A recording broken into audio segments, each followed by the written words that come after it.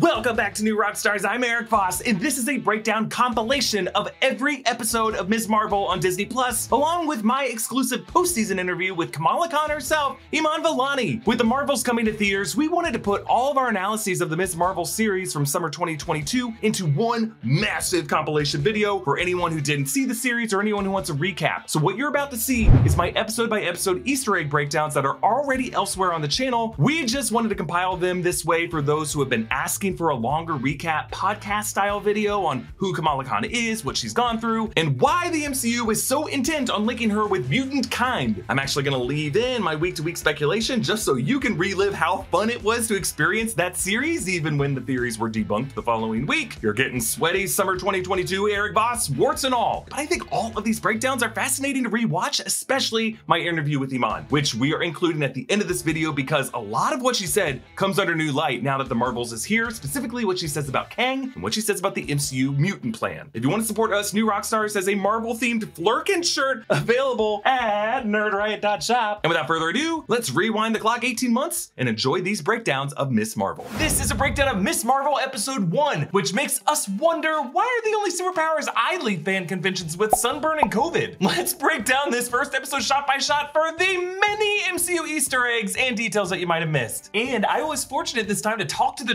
directors of this episode, Adil and Bilal, who gave me some exclusive insights that I will be including in this breakdown. The Marvel Studios title card has now been updated with a shot of Doctor Strange from Multiverse of Madness, and then on the M, it's our man Moon Knight. Over this, we hear The Weeknd's Blinding Lights, a tease for the aesthetics of this series. Many shots have blinding lens flares of the same kind of purple fuchsia color of Miss Marvel's hard light in the weird realm that she goes to. And it is literally blinding light that activates Kamala's powers at the convention. All of this reflecting how Kamala metaphorically finds herself blinded by the light of her own new cosmic powers, both how cool they are and the burden of being a superhero. This opening sequence is, I love it, a YouTube video as Kamala uses her drawings to recap the events of Avengers Endgame. Now, Kamala Khan first appeared as a fan of Captain Marvel Carol Danvers in a 2013 Captain Marvel comic, and then shortly after got her own spin-off in 2014 from writer G. Willow Wilson that explored her point of view as a Pakistani American Muslim teenager in Jersey City, and really a total Marvel stan. That whole one step removed fandom is at the heart of this character and why so many comics readers, as Marvel fans ourselves, could connect with her. And it's just so great that this series opens with a Marvel fan video. I feel seen. Iman Vellani herself is an MCU nerd who carries around with her a notebook filled with MCU notes and questions, who I found out in the press conference is a big fan of this channel, might be watching right now, I hope so. All this to say, this opening feels super authentic. We start with Kamala's drawings, including grouchy Hulk, and then hands together with Bismillah, an expression meaning in the name of God, an expression that characters say throughout this episode. We see her flying sloth, and then Bigfoot with his nether regions and upper regions covered by stars. Kamala says this is a 10 part series on Earth's mightiest hero, using the Avengers moniker, but describing Captain Marvel's savior role in Endgame. We see drawings of Cap, Iron Man, Hulk, Black Panther, Thick, Thor, and Okoye slaying Thanos' forces in the final charge of Endgame. Hawkeye is using a rubber band bow flinging thumbtacks. There's a post-it note listing Captain Marvel's sightings, sandy beaches, Tokyo, dark alley, and an arena. Kamala says the Avengers were losing at this point in the battle, and she's not wrong. It was really an all-his last moment when Captain Marvel showed up. I like how we see the main Avengers joined by Wanda Maximoff, Ant-Man, Valkyrie, and Pepper Potts' rescue, and we see Cap's shield broken. Kamala says Thanos was being a jerk about magical stones, of course referring to the Infinity Stones. and We see his warship with "Boo, you suck" on a note in the corner. We hear an eagle screech over a bird with a Carol Danvers mohawk. Right below that is a drawing of Proxima Midnight, and then we see Carol's fighter jet and Carol flying past a sign that reads "The future is female." Then some comics art of Captain Marvel flying through space, and Kamala drags an MS Paint file of Captain Marvel across her desktop screen. What generation of computer is she using? And I love it. Kamala mentions studying Scott Lang's podcast. It's called Big Me Little Me on This Powered Life, which must be a parody of This American Life that does interviews with superheroes in the MCU, suggesting that this superhero confessional podcast was how the public of the MCU learned of everything the Avengers did during the Infinity War and Endgame events. And this might have been what informed Paul Greengrass's film The Snap that we saw on the in-flight movie screen in Spider-Man Far From Home. Just a cool little detail that actually tells us a lot about the MCU. Now, when I asked the directors, Dylan Balala, about other Avengers having podcasts in the MCU, here's what they had to say. Uh, do you think any other Avengers might have a podcast series other than Scott Lang?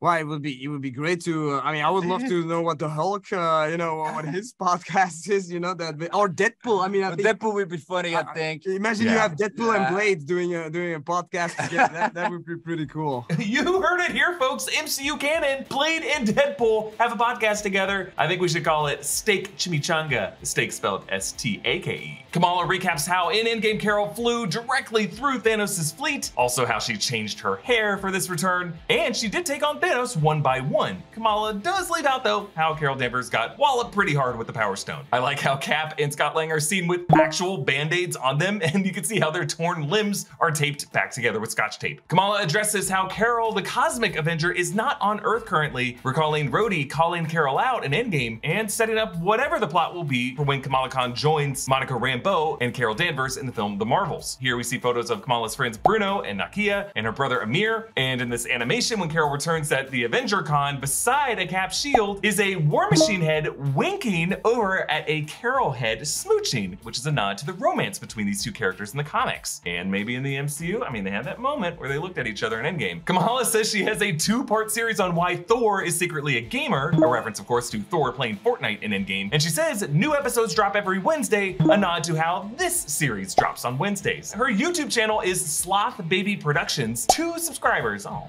you'll get there. Must be And Nakia since they both leave comments on this video. Now, the Miss Marvel press conference included me asking Iman Vellani directly if Kamala Khan subscribed to New Rockstars, and she said that she wasn't sure, but probably at least a variant of us.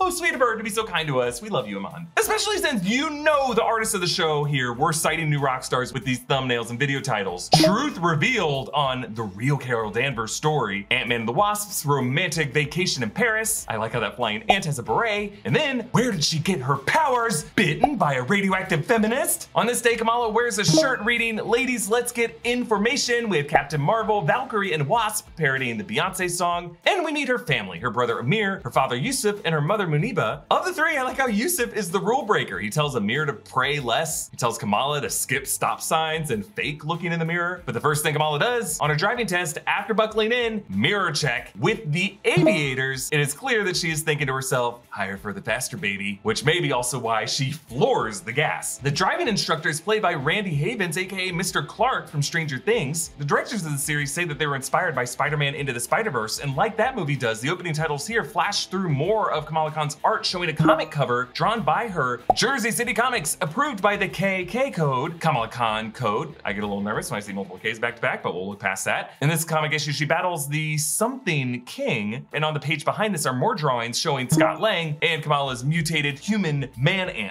As Kamala's parents drive her home, Muneeba says, This is my fault. This is all my fault. These are my genetics. I mean, I come from a long line of fantasizing unrealistic daydreamers. My mother was one. Yeah, little clue here pointing to Kamala and her mother's family history, specifically Muneeba's mother as the source of the powers that Kamala gains. Kamala attends Coles Academic High School, where the founders are all comics writers and artists most crucial to the creation of the Kamala Khan character. Of course, G. Willow Wilson, the Miss Marvel comics writer I mentioned before, Stephen Wacker, Marvel animated producer behind many of Kamala's comic team-ups, Adrian Alphona, an artist on the first Kamala run, Jamie McKelvie, an artist who helped relaunch Carol Danvers and designed Kamala Khan's first Miss Marvel outfit, Ian Herring, known for titles like Miss Marvel and Silk especially, Takeshi Miyazawa, another artist who worked on the Kamala run, Joe Caramagna, a Marvel Comics writer on several titles over the years, and Nico Leon, another artist who worked on the Kamala comics. I love that they get a shout out here. I just, you know, hope that Disney pays them all a little bonus too. We meet Kamala's friends, Bruno Corelli and Nakia Bahadir, and the popular girl of the school, Zoe Zimmer, all of these from this particular run of the comics. Around the school are signs reading Dustin for Prez. He is a very good choice. Dustin Barry was the guy who worked in the set department for the show and a number of MCU titles. Kamala meets with guidance counselor Gabe Wilson, I assume named after G. Willow Wilson. GWW is written on his desk organizer. A quick montage of Kamala's mishaps all show flashes of light, the dodgeball hit, the chemistry explosion, the sunlight beaming in on the art teacher. Kamala is blinded by the light at the beginning, setting her up to eventually control and master the light. Mr. Wilson motivates Kamala with the lyrics of Reflection from Mulan. I'm not gonna lie, high school staff could do worse than just recite Disney lyrics to kids. He says, I know fantasy's fun. Fantasy's really fun. But right now, I need you to pull yourself together and join reality. I like how the split screen reflects how divided Kamala is right now, staying grounded in reality or escaping into her dreams and fantasies. Her path forward is in the latter. The Circle Q shop shows up, Kamala's home base in this run of the comics. She and Bruno plan to go to Avengers Con, which is a lot like the 8A celebration in the Avengers game, which leads to Kamala Khan getting her powers in San Francisco. The graffiti they bike past all comes to life. It looks amazing, visualizing their final flourish pitches. We see steampunk Captain Marvel, mashups Captain Panther or Iron Marvel.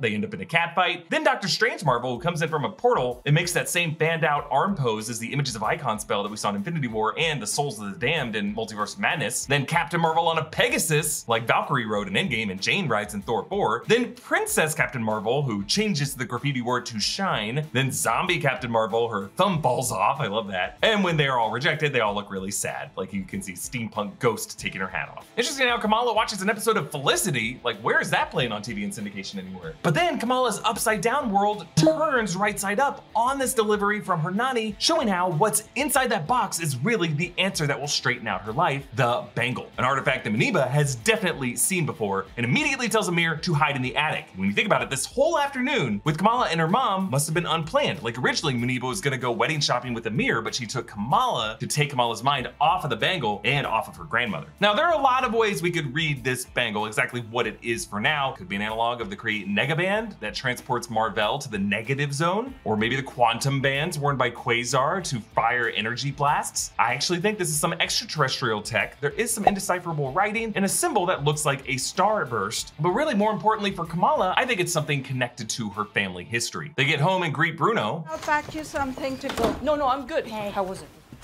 Don't mention Belgium or any guy named Rob. Did you ask her about Avenger Con? Ask her, Bruno, isn't that a- there's a spicy one at the bottom for no now, Oh okay? my gosh. How did you do that so fast? Whoa, so I timed it out. Muneeba put that to-go bag together in 10 seconds. If it's meant to be just a super mom gag, we don't really see Muneeba do this anywhere else. I'm just saying, it could just be a joke for the mom, or the women of this family might have something going on with them. Her parents refuse to let her attend Avenger Con, and Amir checks in on her asking if she's still afraid of the jinn. Jinns are spirits and demons in Arabic mythology, the term and concept later anglicized as genie. She claims to no longer be afraid of the dark, but she does use a starlight projector thing in her bedroom. Don't worry, Kamala, having a healthy fear of demons is just part of being a true Marvel fan. The poster behind her bed shows Captain Marvel from Jerry Dotson's cover of the comic Captain Marvel number five. It really just seems like they pulled every awesome looking comics image of Captain Marvel and put it on her bedroom walls. I like how Kamala's text appears in the starlights of her ceiling, whereas Bruno's response takes the form of the street paint as the taxi drives over it. But in addition to the VFX animation, I like how they did this practically by igniting the neon signs in the store windows and then the LED marquee showing their ellipses and their emojis. Kamala's parents try to compromise that Kamala can go to Avengers Con with her dad, with her as Little Hulk, him as Big Hulk, which I would love to have my parents offer to do this with me. I don't think I'd find it embarrassing, but I get it. Kamala says it'd be humiliating, and there's a huge missed opportunity here to have Yusuf sadly walk out to the 80s Hulk theme.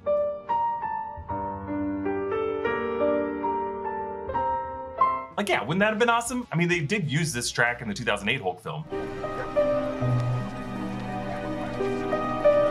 Bruno references the time when Kamala fell into the Hudson River, which is something that happens to Zoe Zimmer in the comics that leads to Kamala's first superpowered rescue. Kamala and Bruno sit on the roof, their feet dangling by an Iron Man sign, but it looks a bit blurred. And that might have been because the show's producers were told to tone down the numerous Iron Man references they were gonna make. But actually, if you look really closely, you can barely make out that this is really an Iron Man themed cereal called Iron Bran. Behind them is a sign for Edison Electric with these bolt images, which might be teasing Kamala's eventual logo of a lightning bolt. He gives her these gloves for her cosplay. Or those photon gloves. yeah. Yes, Photon is capitalized in the closed captioning, meaning that they are referring to Monica Rambeau, Photon, from her mother Maria's call sign. She goes by both Photon and Spectrum in the comics, but WandaVision never actually named her. So she's now confirmed as Photon. And apparently enough of a public figure for Kamala and Bruno to know about her and her powers, which is interesting. Now, the directors had this to say about the Photon Easter egg. How do they know who Monica Rambeau is? I want to ask you guys thoughts on that.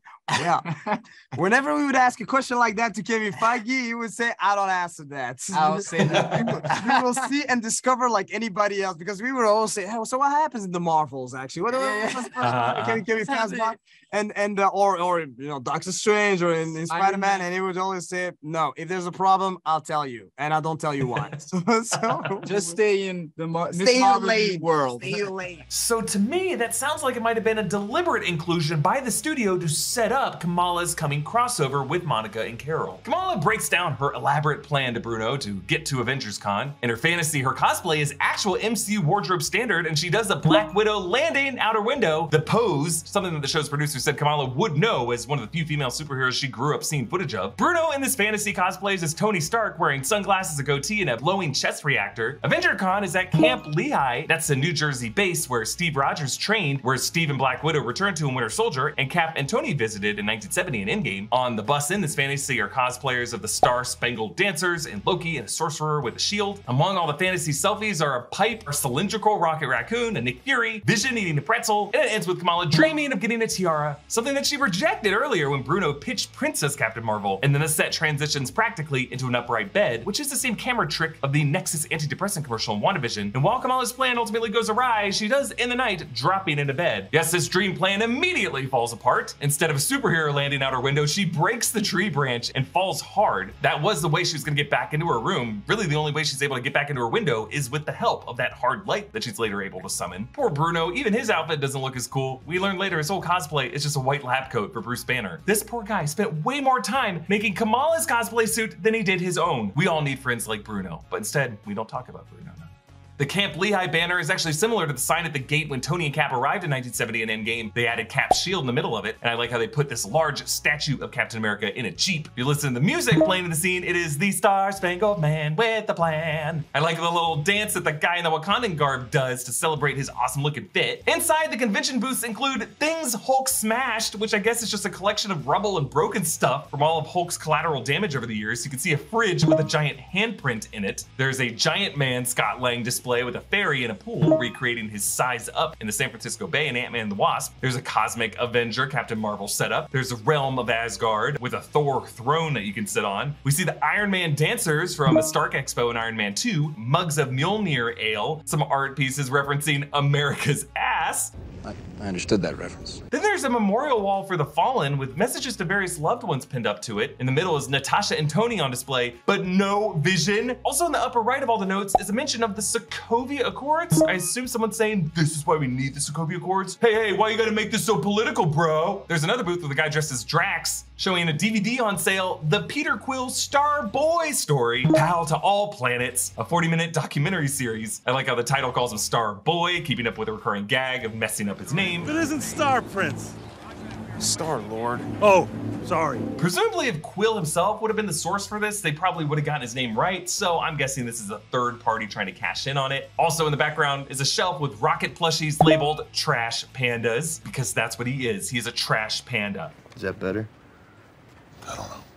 It's so much worse. Another guy hands out pamphlets for Avenger tours to New Asgard, which might be part of the tourist attractions that we are now seeing in Thor Love and Thunder footage. Now, here's a fun one. After Kamala leaves the bathroom, there is a cardboard Captain America and a cardboard Iron Man on the left of the frame, which were actually cameos by Saagar Shaikh and Rish Shah, who play Amir and Cameron. Thanks to Saagar, friend of the show, who actually sent me a photo of him and Rish on set. Kamala is able to unlock the bangle by twisting a small circle that turns four other cogs, and then it clips on and extends, then coats her body with a layer of cosmic radiation, and then she falls backward into this interesting purple tinted realm filled with shadowy figures, their eyes glowing. Many of them look bald and caped carrying spears. I don't know, they look a bit like Watchers, a statue of whom appears in Thor 4. Now, if this bangle is based on the Kree negabands, we might be looking at the negative zone, but I think this is gonna be more personal to Kamala and her family, her Nani. The purple and fuchsia tones actually remind me a lot of the ancestral plane, which Moon Knight just told us is part of the same MCU Afterlife life network as the Egyptian underworld. We could be looking at another spiritual realm that's connected with the ancestors of the Khan women, ancestors who might be extraterrestrial, Kree, or Skrull, or Kree experiments on the humans, the Inhumans. Because in the comics, Kamala gets her powers by being enveloped in Terrigen mist, a process called Terrigenesis that creates Inhumans. And in her Terrigen cocoon, she sees the forms of Cap and Iron Man and Captain Marvel and comes out in a form modeled on her idol Carol Danvers, but with stretchy limbs, before she realizes that she could just look like herself.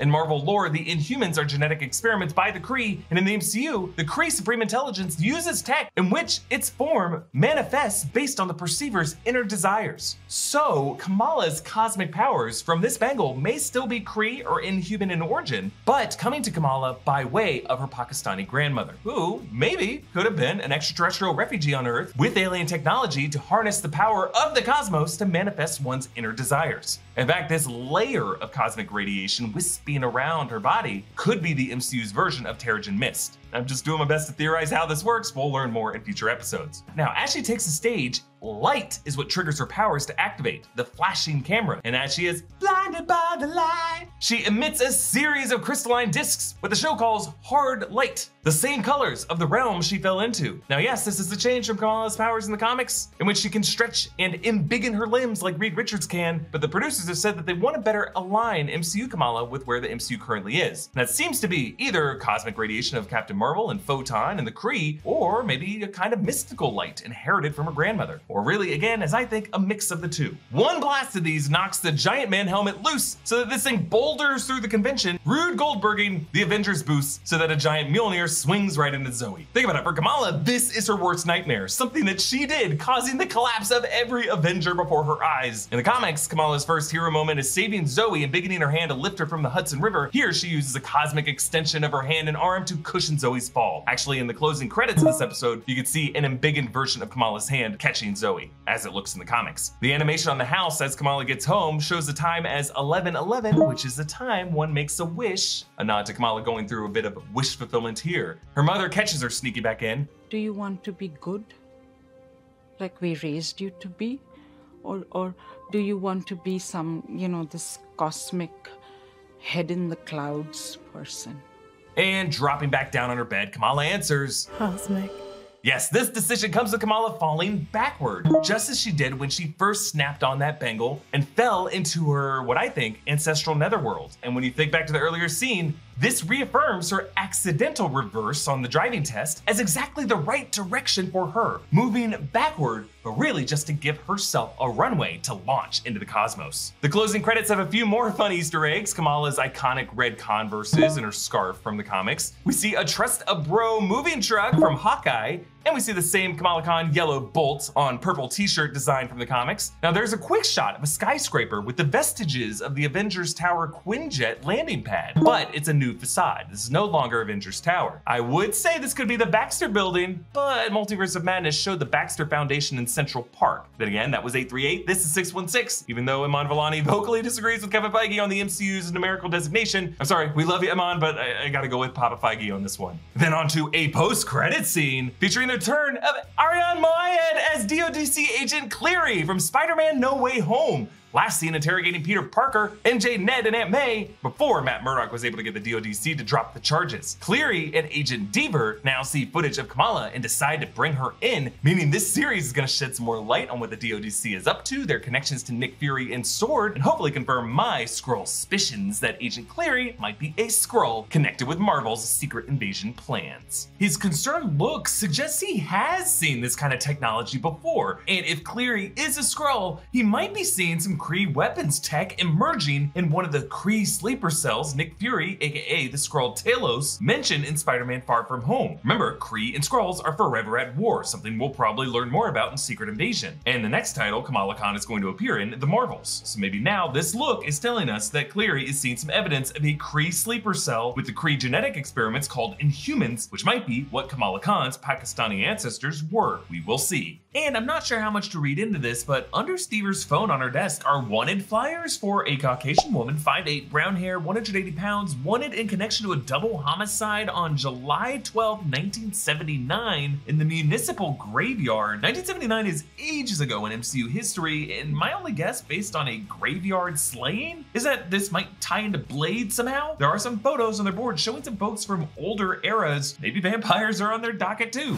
This is a breakdown of Miss Marvel episode 2, which teaches us all a little something about pretending your crush is your cousin when we're in the wish fulfillment genre. It may just come true. I mean, hey, we, we don't know that for sure yet, which is exactly what we say at family reunions down in the South. Let us break down this episode shot by shot for all the MCU Easter eggs and details you missed. Notice how the S in the previously on screen matches the S of the Ms. Marvel title in the comics and in the series. They intentionally stylized that S to draw the eye to it make it clear that she isn't Miss Marvel, like little Miss Superhero, but rather Ms., an independent woman in control of her own life. The episode opens on Kamala strutting back into her school to Mase's Feel So Good, the chorus to which is Bad, Bad, Bad, Bad Boy. You make me feel so good. A little tease of the bad, bad boy Kamran, whom Kamala will fall for this episode. Bad, bad boy with ulterior motives. She wears a Save Ferris button, Save Ferris being a ska punk band, who of course got its name from the gag in Ferris Bueller's Day Off, where Ferris faked being deathly ill to get out of school, launching the Save Ferris campaign, while he rigged up a stereo in his bedroom to fool his parents, similar to how Kamala tried to use Zuzu to trick her parents into thinking she was in her room. She fools around with a basketball echoing Andrew Garfield Peter Parker's post power up moves in The Amazing Spider Man, but then she bumps into Kamran, knocking over her chemistry textbook, as we saw with Peter and MJ smooching beside their chemistry textbook. It's a little on the nose. Kamran wears the color blue, and with Kamala's purple color tones, there definitely is some conscious wardrobing here. As in the Miss Marvel comics, Kamran gets hit with the same Terrigen mist that Kamala does, transforming him into an inhuman with blue colored bioluminescence, where he can release energy blasts or transfer his energy into an object, causing it to glow and to explode. This episode's ending reveals Kamran was targeting Kamala from the very beginning in league with his mother, Najma, and I would not be surprised if he actually bumped into her on purpose here,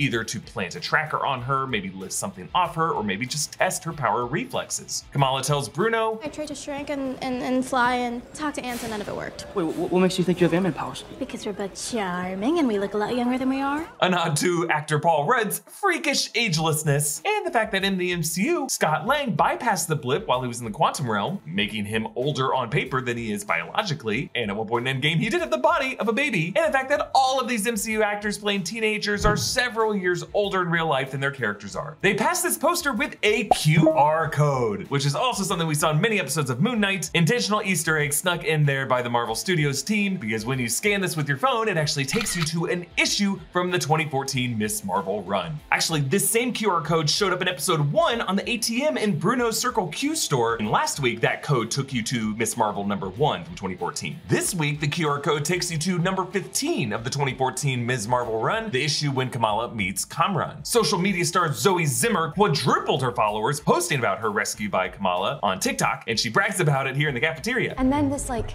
beautiful white light like cascaded over me. I felt this wave of calmness, like I knew I was safe. Okay, I don't want to read in this too much. And, uh, you know, we're all probably going to come around on Zoe. She's actually much nicer than she seems right now. But the one thing we know about that hard light that saved her was that it was not the color white. It had other colors in it. I'm sorry, Zoe. I know you didn't mean to say it. But Zoe does bullshit the name Night Light, similar to in Far From Home when Ned had to come up with a superhero name and came up with Night Monkey. The opening titles of this episode toggle through a bunch of interesting designs. First, Miss Marvel as Brass Knuckles. The period on the Miz is the same shape as the Starburst icon on her bangle, then her car dashboard, then a Donkey Kong style game, and a night sky with a crescent moon evoking the Moon Knight title imagery, and then one in the style of Saved by the Bell. Kamala makes a fist. How does it feel? Like an idea come to life. Yeah, another clue that Kamala's powers are a form of wish fulfillment triggered by her inner desires and thoughts. Also, if this is innate to Kamala Khan's DNA, that makes it even more likely she could be an inhuman as she is in the comics, but rather than exposed to Terrigen Mist herself, she just may be the daughter, granddaughter, and great granddaughter of Inhumans and activated by a piece of Kree tech. That could be what triggered the Terrigenesis process. The mural by the playground that they train at was actual art created by New Orleans area artist and activist B. Mike, Brandon Odums, totems. And then Kamala gets the idea from watching Bruno play, looks like the game Lucky's Tale, to use her hard light as a lily pad. Bruno's tablet impressively tracks Kamala's vitals and is able to deduce from that that the power comes from within her, not from the bangle. Meaning that the bangle really just unlocked the power that was already in her DNA from her family ancestry. And like we are wondering what that is, Kamala begins to speculate. So what am I like, Asgardian or something? Dude, am I related to Thor? Oh, no, I didn't say any of that. Maybe. While Kamala is probably not an Asgardian like Thor is, she may be something else extraterrestrial in origin, like an inhuman experiment by the alien race of the Kree. She and Bruno notice some writing on her bangle, Kamala thinking it's either Arabic or maybe Urdu, but from our vantage point, it's not clear if they are talking about the symbols on the green bands or somewhere else on this bangle. But for reference, we do know the alphabets for the Kree and the Skrull languages, and we've also seen the written language of Xandarian in the Guardians of the Galaxy movies. So Kamala experiments with this lily padding on this hard light. She hangs from the ledge by that Iron Bran poster that we saw last episode. This fake out with her and Bruno acting like she was gonna fall off the building just for her to drop a few feet definitely reads like a restaging of Natasha's death in Endgame, with Bruno playing the platonic ideal best friend Clint. I assume an account of this would have been in an episode of Scott Lang's podcast for Natasha to now be on a memorial poster in Avengers Con. I would hope that Kamala would take a moment of silence. And she eventually gets the hang of it. The shot framing her within the bolt of the neon Edison sign, just a cool way of showing that she is now in control of the hard light. If You think about it, that is kind of what a neon sign is. It's light, but it but but but it's hard. It's hard. Now, of course, in order to uh, accomplish the stunt of this shot, they had someone on a green screen set and then VFX them onto this roof, which is why that little celebratory yes at the end just looks a little weird. Oh, and this Edison sign, by the way, is a reference to the inventor that was Kamala Khan's first real villain in the 2014 comics, a cockatiel bird possessed with the consciousness of a clone of Thomas Edison. Actually, that cockatiel bird we saw among Kamala Khan's drawings in the opening imagery of episode one was also a nod to that guy. It's a little too wacky of a concept probably for this show, but I'm so glad that they pay homage to him this way. Kamala and Nakia are late to mosque services, and we learn how the women's section of this mosque is less maintained. You get some crumbling tiles in the bathroom, mold under the carpet, less security around the women's shoe racks. Because poor Nakia gets her shoes stolen. Maybe whoever that Skrull was who stole Nick Fury's shoes on the Skrull space station. Got my shoes! Skrulls might have a thing about stealing shoes, and we laugh about that, but I, I do think Skrulls are gonna show up in the show. At least I hope they will. And my favorite detail this episode, later when Kamala saves that kid from falling, we get a close-up of the shoes, and what do you know, it was this twerp who stole Nakia's shoes. The women of this mosque have to deal with enough, kid. Onto Zoe's party, which becomes a pool party because Kamran does a high jump into the pool. Super weird to do, even though this pool is heated, because it is freaking cold outside. They're all wearing coats, they have these heater lamps, and now poor Kamran's gonna be stuck in wet clothes all night. As he leaves this pool, you can see some blue light and blue mist steaming around him, definitely evoking that bioluminescent form from the comics. Actually, later during Kamala's fantasy sequence, she envisions herself in purple neon and Kamran in blue neon, maybe a nod to them both being bioluminescent inhumans. I like how poor jealous Bruno tries to subvert Kamran's coolness. You really belly flopped back there, man. That that had to hurt. Don't think so. I Didn't really feel a thing. Nice try, Bruno. Ain't gonna happen. Why? Because Kamran clearly has some oddly inhuman properties to his body. And Kamala flirt by discussing their favorite Bollywood films, referencing SRK. That, of course, is the great Shah Rukh Khan, massive Bollywood movie star. And they also mentioned two of his biggest titles, Baazigar from 1993 and DDLJ from 1995. He gives her his number, but again, as sweet as this seems, it is too good to be true. Kamran has ulterior motives and was clearly assigned by his mother to get close to Kamala. Bruno was right to be suspicious. If things are too good to be true, they often are. But poor Kamala doesn't know that yet because she is smitten. The lens dissolves into the lights, all forming these heart shapes. And then we get this adorable dance number to the Ronettes, Be My Baby. And again, because it's my job to ruin wholesome things, Be My Baby, sung by Ronnie Spector, produced by Phil Spector. Phil Spector was married to her and did horrible, horrible things to her. Look it up. So as sweet as things seem on the surface, there's actually a dark truth behind them. Now, last episode, we saw a similar fantasy sequence from Kamala's perspective of her whole family all dancing in celebration of Kamala. But now, notice it is only Kamala dancing as her parents watch on from the kitchen confused. Kamala is joined only by the beautiful, vibrant lights now filling the house. Because Kamala's core relationship in the series is really a dance between her and her lights. This fantasy turns to neon forms of her and Kamran drifting off into space, joined by two astronaut sloth babies. This transitions to Kamala daydreaming at her desk, and her nose suddenly glows. An analogous scenario to getting that that surprise zit on your nose in the middle of a school day, naturally leading to Nakia, what a great friend, handing her a tampon. And by the way, I hope this was not the reason why this show was randomly rated TV 14, because you really think kids younger than 14 aren't also going through this kind of thing? Mr. Wilson tells Bruno that he got into early admission at Caltech, but Bruno isn't sure about jumping on this opportunity. You know that part in the movie where someone comes in to the main character and they say, You want to be a Jedi? Or, You want to answer phones of a demanding but impossibly chic magazine editor? As before, Mr. Wilson only knows how to speak to these kids in movie references, and in this case, Star Wars and The Devil Wears Prada. But despite knowing so much about movies, Wilson is failing to acknowledge that a classic step in every protagonist's journey is the refusal of the call. Luke Skywalker rejects Obi-Wan Kenobi initially and only leaves Tatooine once his aunt and uncle are killed. In Devil Wears Prada, Andy initially walks out of the interview with Miranda Priestly thinking she blew the interview and tries to quit several times before finally deciding to take the job seriously. So Bruno is at the refusal of the call stage. Let Bruno have his beats. So after school, Kamran waits for her by his sweet ride and notice how the sun glares off the hood, blinding her with the light again. Last episode, all these lens flares, blinding lights representing Kamala being distracted. And I love the blocking here. Bruno blocks that light, gives her a relieving shade, trying to keep her away from this bad, bad boy and shielding her from the blinding light. Also, you'll notice how Bruno wears a blue shirt and a red vest, which is a nod to the comics when Kamala had a kid who sat behind her in class dressed up as Marty McFly who doodled Teen Wolf in his notebook. Kamran and Kamala chat some more about Bollywood stars. Mine's the same. She still has a huge crush on Kingo Senior. Ew. Concerning. Very. They are referring to the movies of Kingo, Kumail Nanjiani's character in Eternals, a Bollywood star who would reinvent himself as a younger generation era after era. Kamran goes on to say, Yeah, I mean, it must be a generational thing.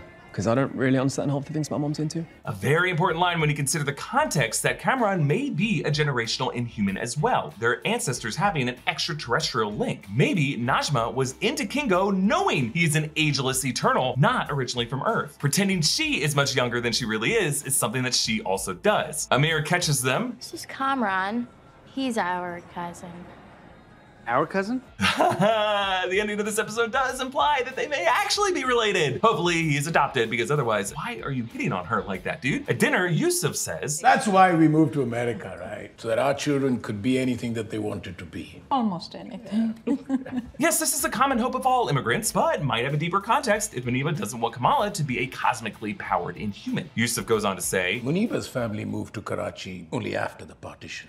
Back then, there was no Pakistan or Bangladesh. It was all one big country, India. After the British just. The British left us with a mess. So, the partition refers to when Great Britain parted ways with British India in 1947 and the subcontinent divided into India and Pakistan, separating the military, the civil service, railways, treasury, millions of people along religious lines, Muslims to Pakistan, Hindus to India, displacing 10 to 20 million people, causing horrible ethnic violence, resulting in deaths estimated from several hundred thousand people to 2 million people. It was a horrible dark time, one of the worst refugee crises we've seen in human history. Yusuf explains how Muneeba's mother was caught up in all that, a toddler on the last train out of a station, and got separated from her parents. Nobody knows how a little toddler, Sana, managed to get back on the train just, Just before the train pulled out of the station. I like how Amir completes this part of the story, but then Yusuf turns to Kamala to finish the second part of the story about how the toddler made it back to her father. She followed a trail of stars. Right back to her father.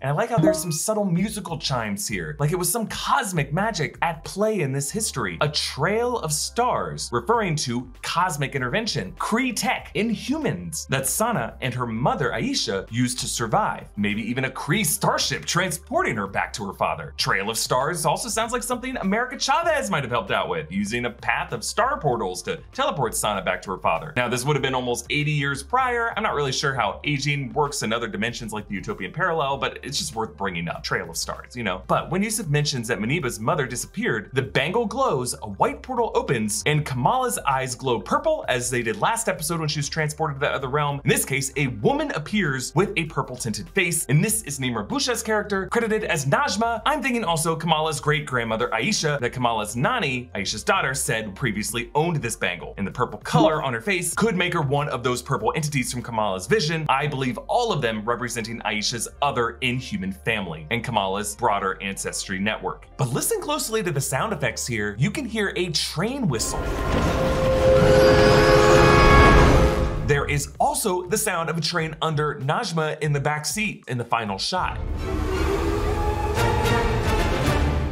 Both of these train sounds could be a nod to Aisha getting separated from Sana and Sana's father at that train station, and Aisha later helping Sana find him using that trail of stars. Now, later in this episode, the Illuminaunties will gossip about Aisha. My father called her a snake. She put a curse on everything she touched. I heard that she had a secret affair and took off with someone. I heard she had many affairs and she had a secret family. I heard she killed a man, happened during partition. Yes, just some hot goss, of course, but it might be rooted in truth, just from a different point of view. Like Aisha may have had another family of inhumans. She might have killed someone in self-defense, and her powers back then probably were viewed as a curse or some kind of superstition. I just love how this series grounds Kamala's family history in the partition between India and Pakistan, real world history, when many lives were lost, many families were separated, and many at that point in history were ostracized as others. Something that could apply doubly to Aisha as an inhuman in the 40s that would stir up these rumors and superstitions about her in that community, leading to her just getting separated during the partition and letting her family go so that they could have a normal life. Yet still, an inhuman gene would have been left in the women of this family, a legacy that Muneeba fears is a curse, feeling shame over it, but now Kamala has it and it has been activated. They attend the Eid festival at their mosque, or Eid al-Adha. Kamala jokes with Nakia and Bruno about the Illuminaunties. The Illuminaunties, actually, they know everything.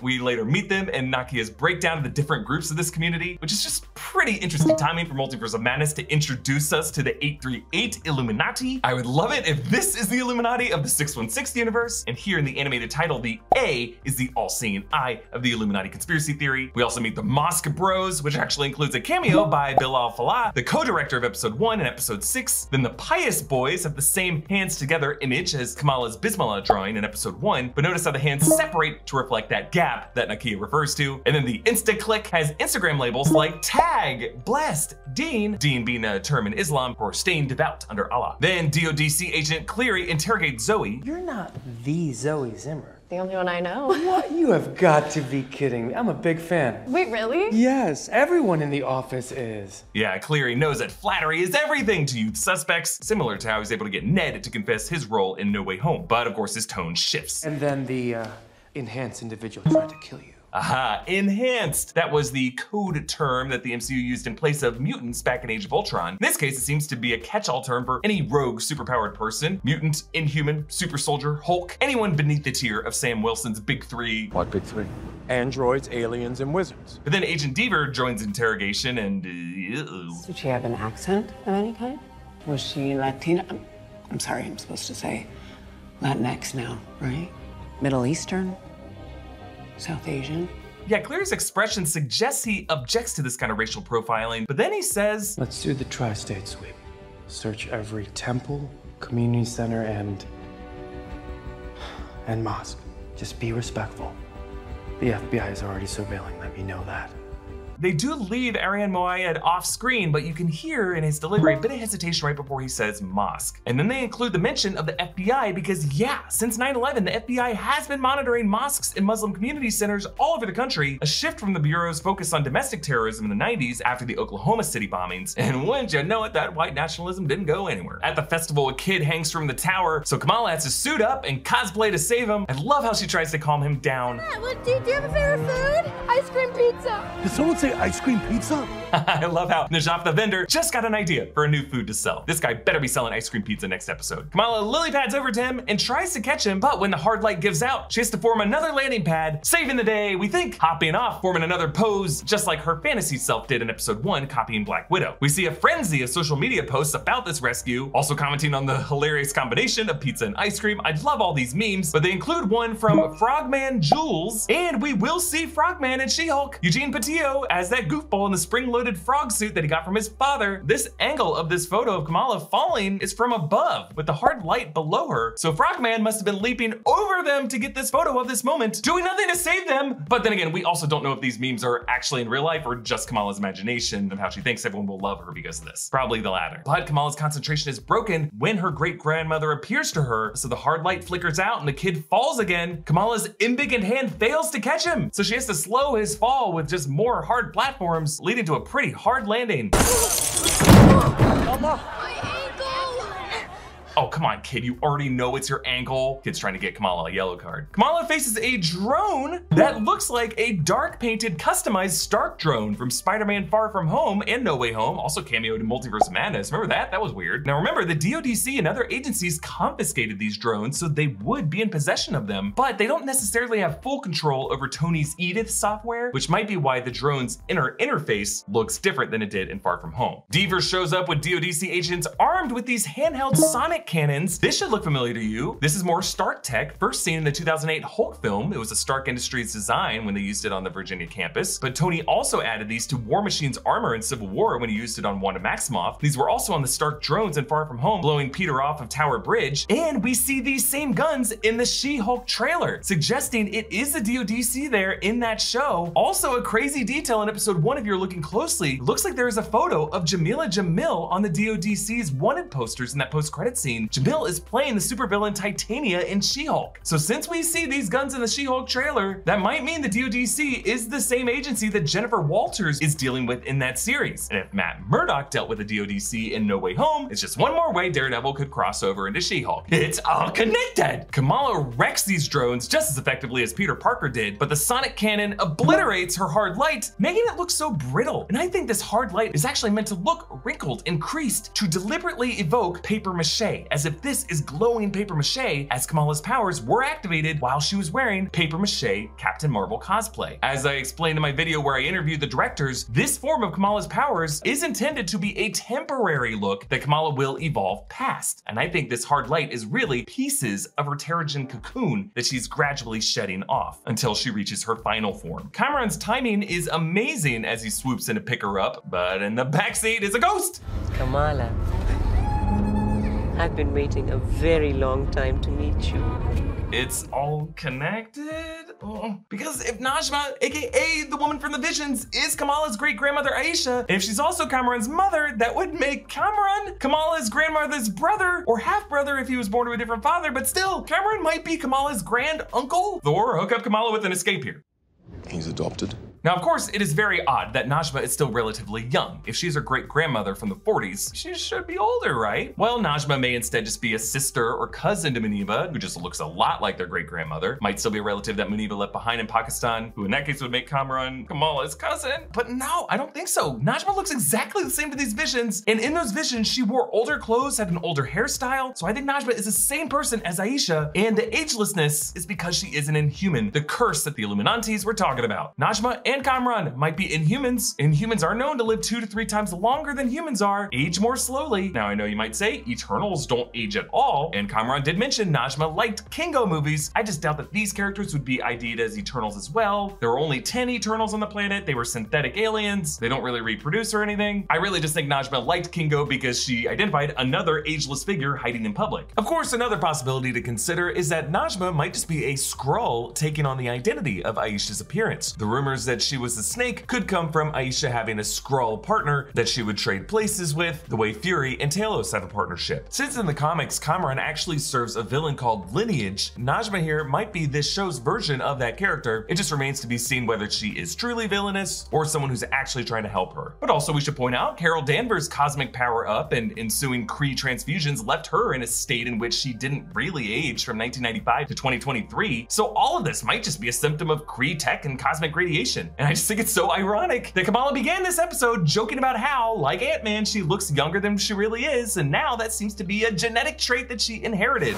This is a breakdown of Ms. Marvel episode 3, which gives Kamala 10 rings problems in a Gen 8 1. I don't know if that made sense, but let's break down this episode shot by shot for all the Marvel Easter eggs and details you might have missed, because there is so much to explain from the opening minutes of this episode. We open in British occupied India in 1942, making this a few years before the partition mentioned last episode. That's when the British left India by dividing it into India and Pakistan, resulting in devastating civil unrest. We find ourselves in a cave containing various ancient relics. Digging through this rubble is Najma, Fariha, Salim, and Kamala's long lost great grandmother Aisha. I found the bangle. Should we be concerned it's on a severed arm? You heard what that man from the temple said. He said we would need two.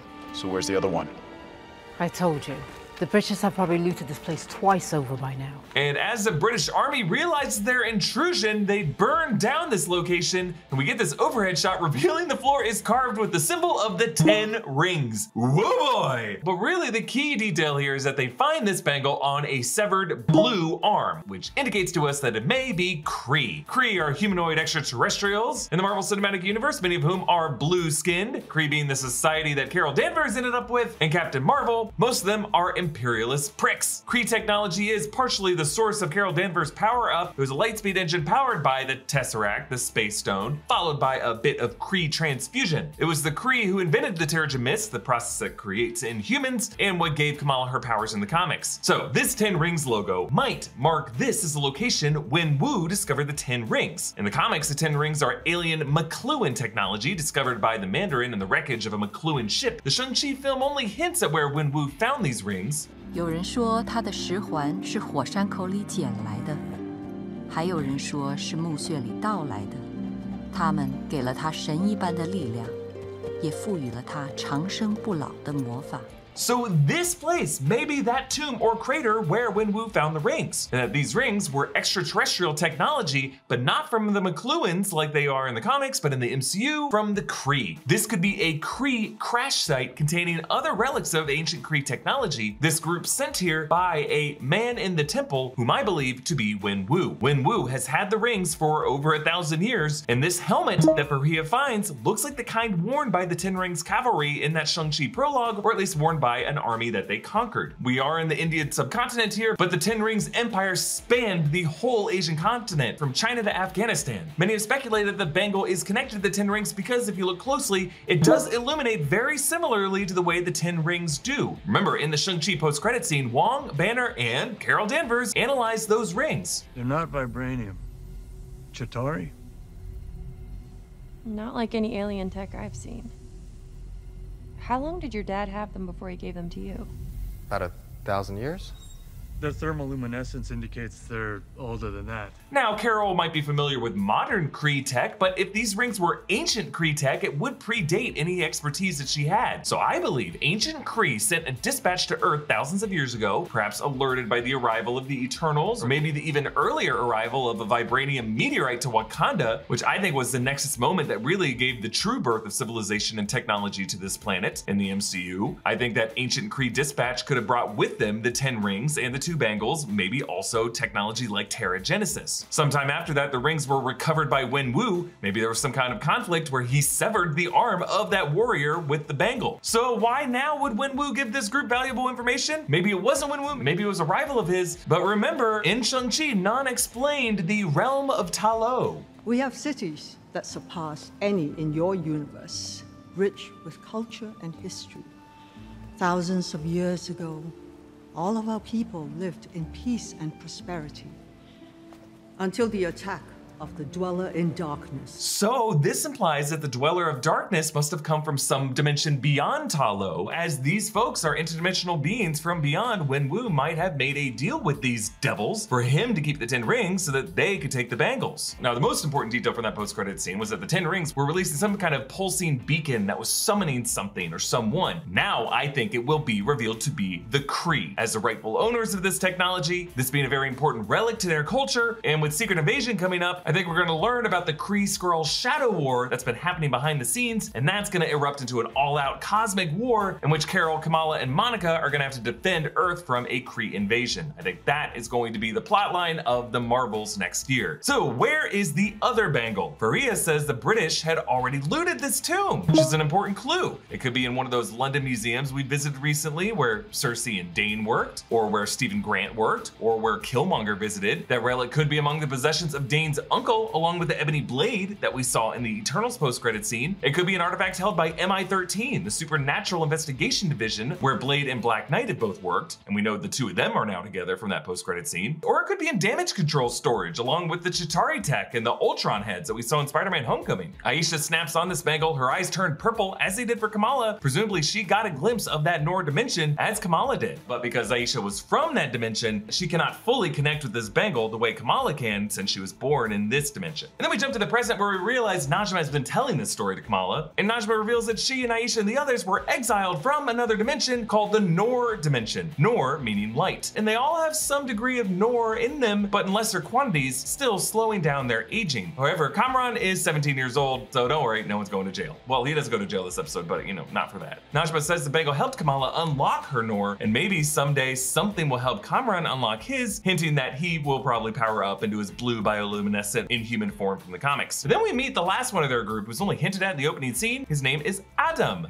Don't mind him. We've been around for a hundred years, and he picks the stupidest parts of humanity to be obsessed with. That's so rude. His name being Adam is significant, as when they argue off screen, the captions show he says this is his house. He's more confident than the others, and there might be some significance to that because Najma says, In our home dimension, the Noor dimension, we're known as the clandestines. As to what we are, we've been called Ajnabi, Majnun, unseen. The list goes on. But what we're most commonly known as is jinn. I'm sorry, did you just say Jin? Okay, wow. So the term jinn was actually mentioned back in episode one. Please tell Bruno the Zuzu is possessed by the evil jinn. He needs to fix it. Jinn refers to a spirit or a demon in Islamic mythology, actually pre-Islamic mythology as Yusuf clears up later. They've been anglicized as genies, which basically just means white culture has bastardized this culture. They've turned the concept into like jacked blue Will Smith rapping. But Jinn absolutely have a deeper lore to them. The idea is that whereas humans were understood to be made from clay, the Jinn was made from smokeless fire and are forbidden to interact with humans and are actually invisible to us. By the way, the other terms that Najma mentioned, Ajnabi is Arabic for strange, alien, or foreign. Majnun is Turkish for a crazy person. Unseen may have a deeper meaning to it in Marvel lore. Unseen has been considered to be invisible to the Watchers, but I think she was using it in the context that Jinn are supposed to be invisible to mortals. But the key word there was clandestine, which was capitalized and I think might be referring to a lesser known group in Marvel Comics from the 90s founded by Adam of Ravencroft, Adam, later dubbed Adam of Destine from 12th century England, who during the Crusades fell in love with a Jinn. Their descendants become the clandestine, all with various different powers, and they team up with the X-Men. And don't feel bad if you don't know they existed because they were never popular. I guarantee you, even the nerdiest Marvel fan who watched this episode today had to do a bit of Googling to figure out who these guys were. But I think that was by design. Their obscurity and their intersection with Jinn mythology being the reason why this term was chosen here. Now, to be clear, this group is only 100 years old. Really, it's their extra dimensional status and the fact that they identify with being Jinn, something important to pre-Islamic mythology, being far more important to who they are in this story. The fact that the biggest a-hole in the group is named Adam, I think just a nod to Adam of Ravencroft, Adam of Destine. I'm thinking that their Noor dimension is actually another spiritual afterlife realm in the MCU alongside the ancestral plane in the Duat, as Taweret and Moon Knight explained that both the Duat and the ancestral plane were part of an array of interlinked afterlives that all take different forms based on the beliefs of the individual. And now to be clear, the concept of the Jinn far predates 100 years, when these exiles arrived into our dimension. So really, Jinn is just what they were called and how they explain what they are, but they are not literally Jinn. And it remains a mystery why they were exiled and what it says about that dimension that authorities there exile souls from that realm and leave us with them. What I love most about all this is that it is grounding the mythology of Kamala Khan and the whole Khan family and her powers in faith. That seems to be a thematic undercurrent of Phase 4, with stories like Thor, Love and Thunder, Eternals, Moon Knight, and soon Black Panther Wakanda Forever, all exploring the theme of how for many of these characters, being a superhero is deeply intertwined with their spiritual beliefs. And I think this is awesome, because the MCU may be about to establish that all paranormal folklore beings in this world, vampires, ghosts, demons, werewolves, Bigfoots, chupacabras, musks, are exiles from other spiritual realms, other dimensions. And assuming one of those dimensions is hell, because we got a pretty good look at that in Doctor Strange and the Multiverse of Madness, you know what that means. Not today, though. Now, the opening title includes Kamala's notepad drawing showing Captain Marvel with a heart on her chest, Iron Man with a heart on his chest, and Palm Repulsor, Hulk, and then this sexy dude going, oh hi. Another is cut paper with KK labeled on the scissors, and then another is a drawing of Kamala totally falling over Kamran. Also, a quick reminder that the best way to support New Rockstars is to get our Ms. Marvel inspired Cosmic Daydream shirt at newrockstarsmerch.com, where you'll get the added option to write in a custom shout out for our Ms. Marvel after shows. Kamala tries to explain this all to Bruno. I'm a Jin. And tonic? Solid joke, I love it. The books on Bruno's shelf include Mechanical Behavior of Materials, Turning the Wheel, Hacking Darwin, How to Manage Your Mother, How the Mind Works, Mr. Monster, and on top of an issue of Popular Science. Kamala asks, Do you know anything about interdimensional travel off the top of your head, specifically the Noor dimension? That's N O O. Actually, no, that reminds me of a paper I read. Uh, I think it's by Dr. Erik Selvig. Perfect. Yes, Erik Selvig, Thor and Jane Foster's astrophysicist buddy from the Thor films and Age of Ultron, and now, based on the in-flight movies and Spider-Man Far From Home, something of a Neil deGrasse Tyson figure in the MCU. Bruno shows Kamala that she's trending that TikTok post from a guy named Miguel with hashtags including Mosque Save, Girl on Roof, Nightlight, and Jersey City Hero. DODC agent Deever's license plate is 0102EE. In WandaVision, Wanda and Vision's license plate when they first drove into Westview in episode 1 was 0102. She struts into the mosque, her shoes making hard thuds on that carpeting. Just so rude of her and these agents to enter with their shoes on. Nakia tells them to get a warrant. Nakia Bahadir, mosque board member. We still have few more votes to count.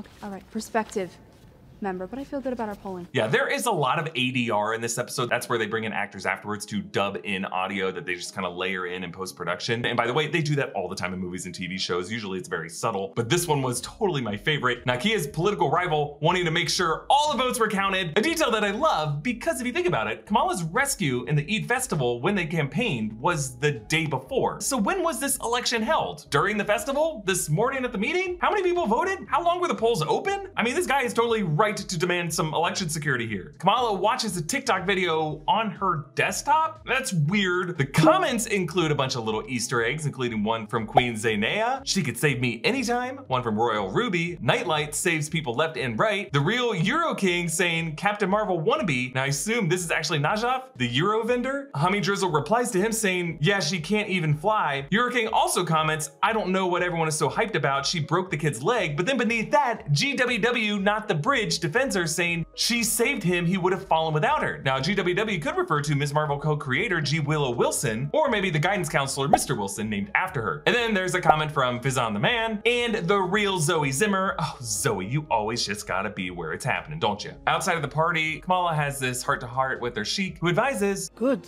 It's not a thing you are, Kamala.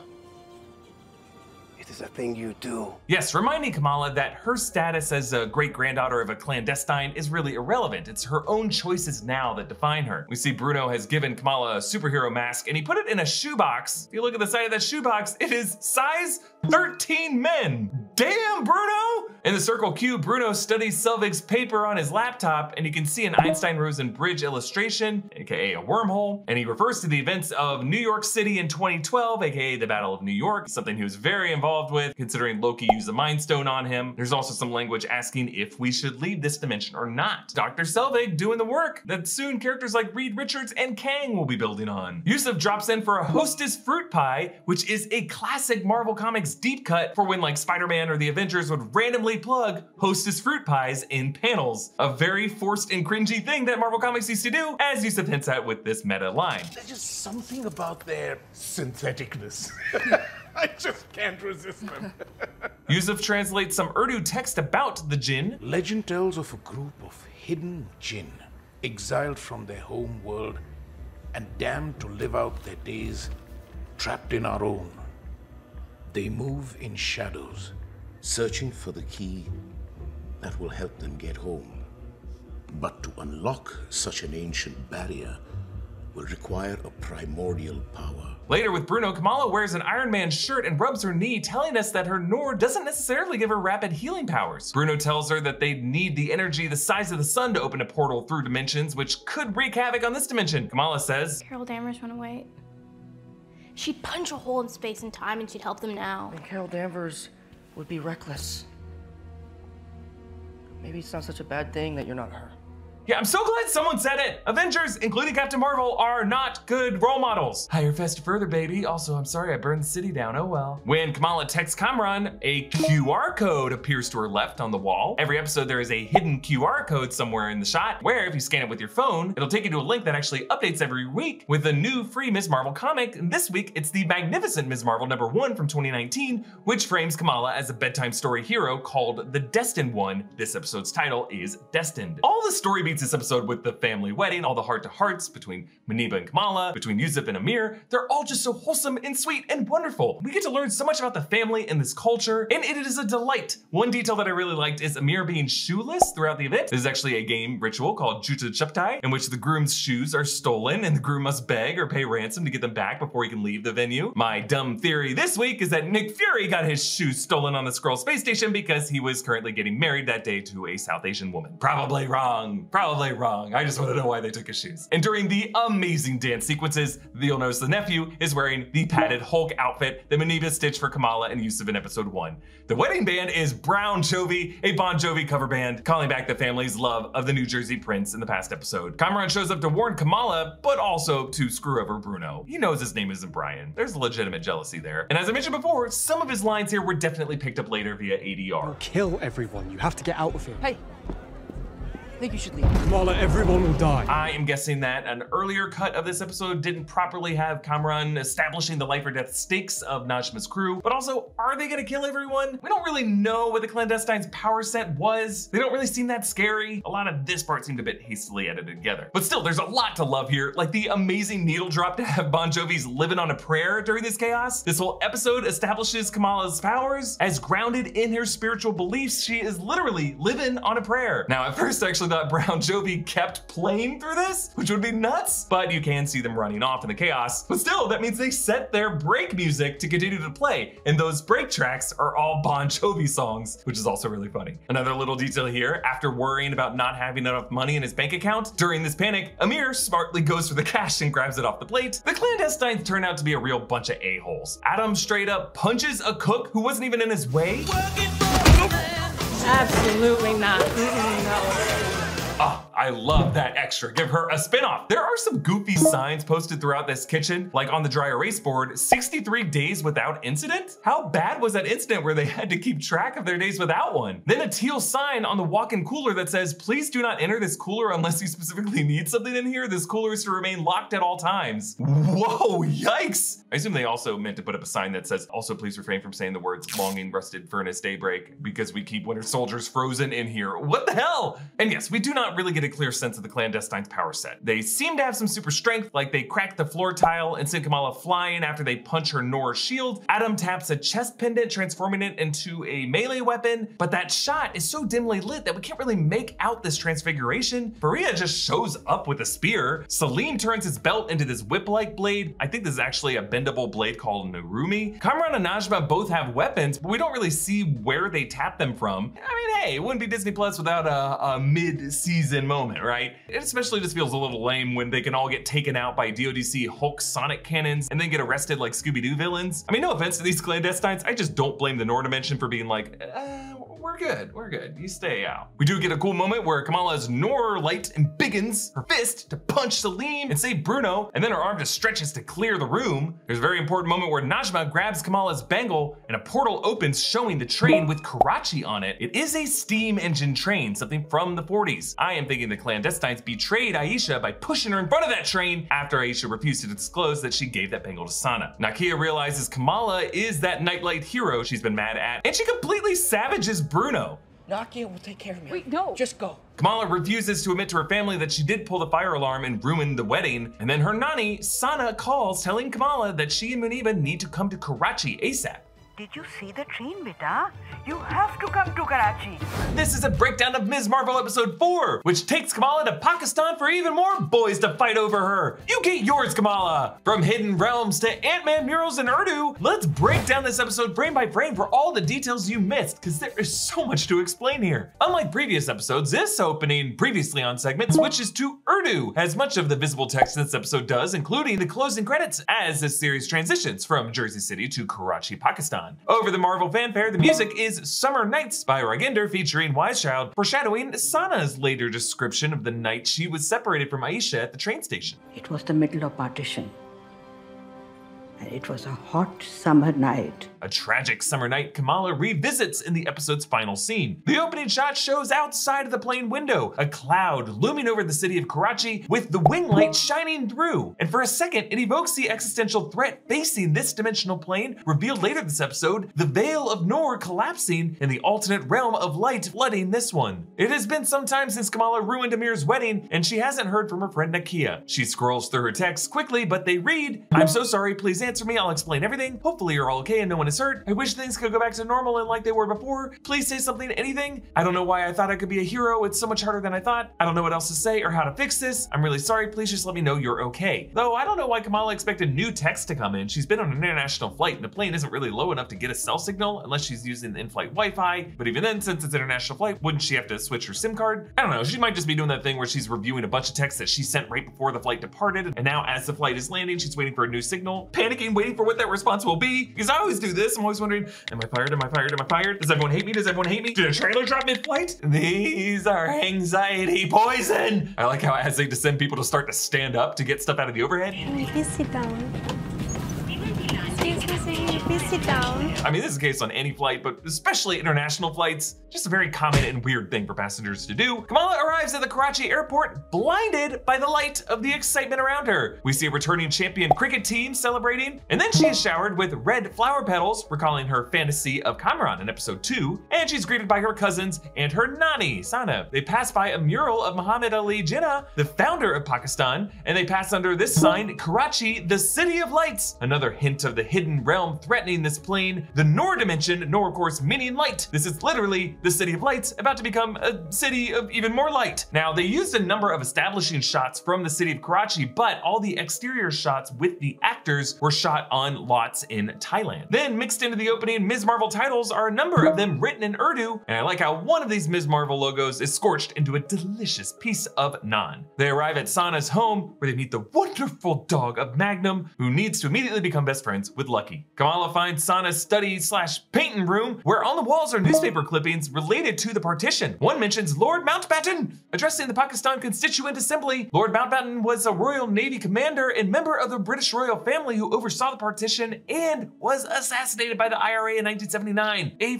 fascinating episode of The Crown, where he's played by Charles Dance, Tywin Lannister. You know, the show The Crown, where we all have to like pretend we care about the whims of the royal family. Oh, my horse doesn't like me. Meanwhile, what are we doing to imperialize the world? Never mind that. My cousin is flirting with me. It's just one of the many reasons I like this show for telling stories about, you know, everyone else in the world. One of Sana's art pieces shows figures in shadow walking across a purple-hued cosmic backdrop, looking a lot like the Noor realm that Kamala briefly dropped into when she first clipped on that bangle in episode one, and we see a bird's eye view of in this episode. After all, Sana does see those same trained visions. These are likely visions in her dreams too. Kamala and Sana chat about their background. Am I A jinn? Of course. At least that is what my father told me. How are you so casual about this? I, I don't see what the whole fuss is about. It's just genetics. No. Ha, a bit of a pun there, genetics. Sana explains that the term Jinn is really just a name given to them and tells her again that story about how a trail of stars saved her on the night of the partition by reuniting her with her father at that chaotic train station.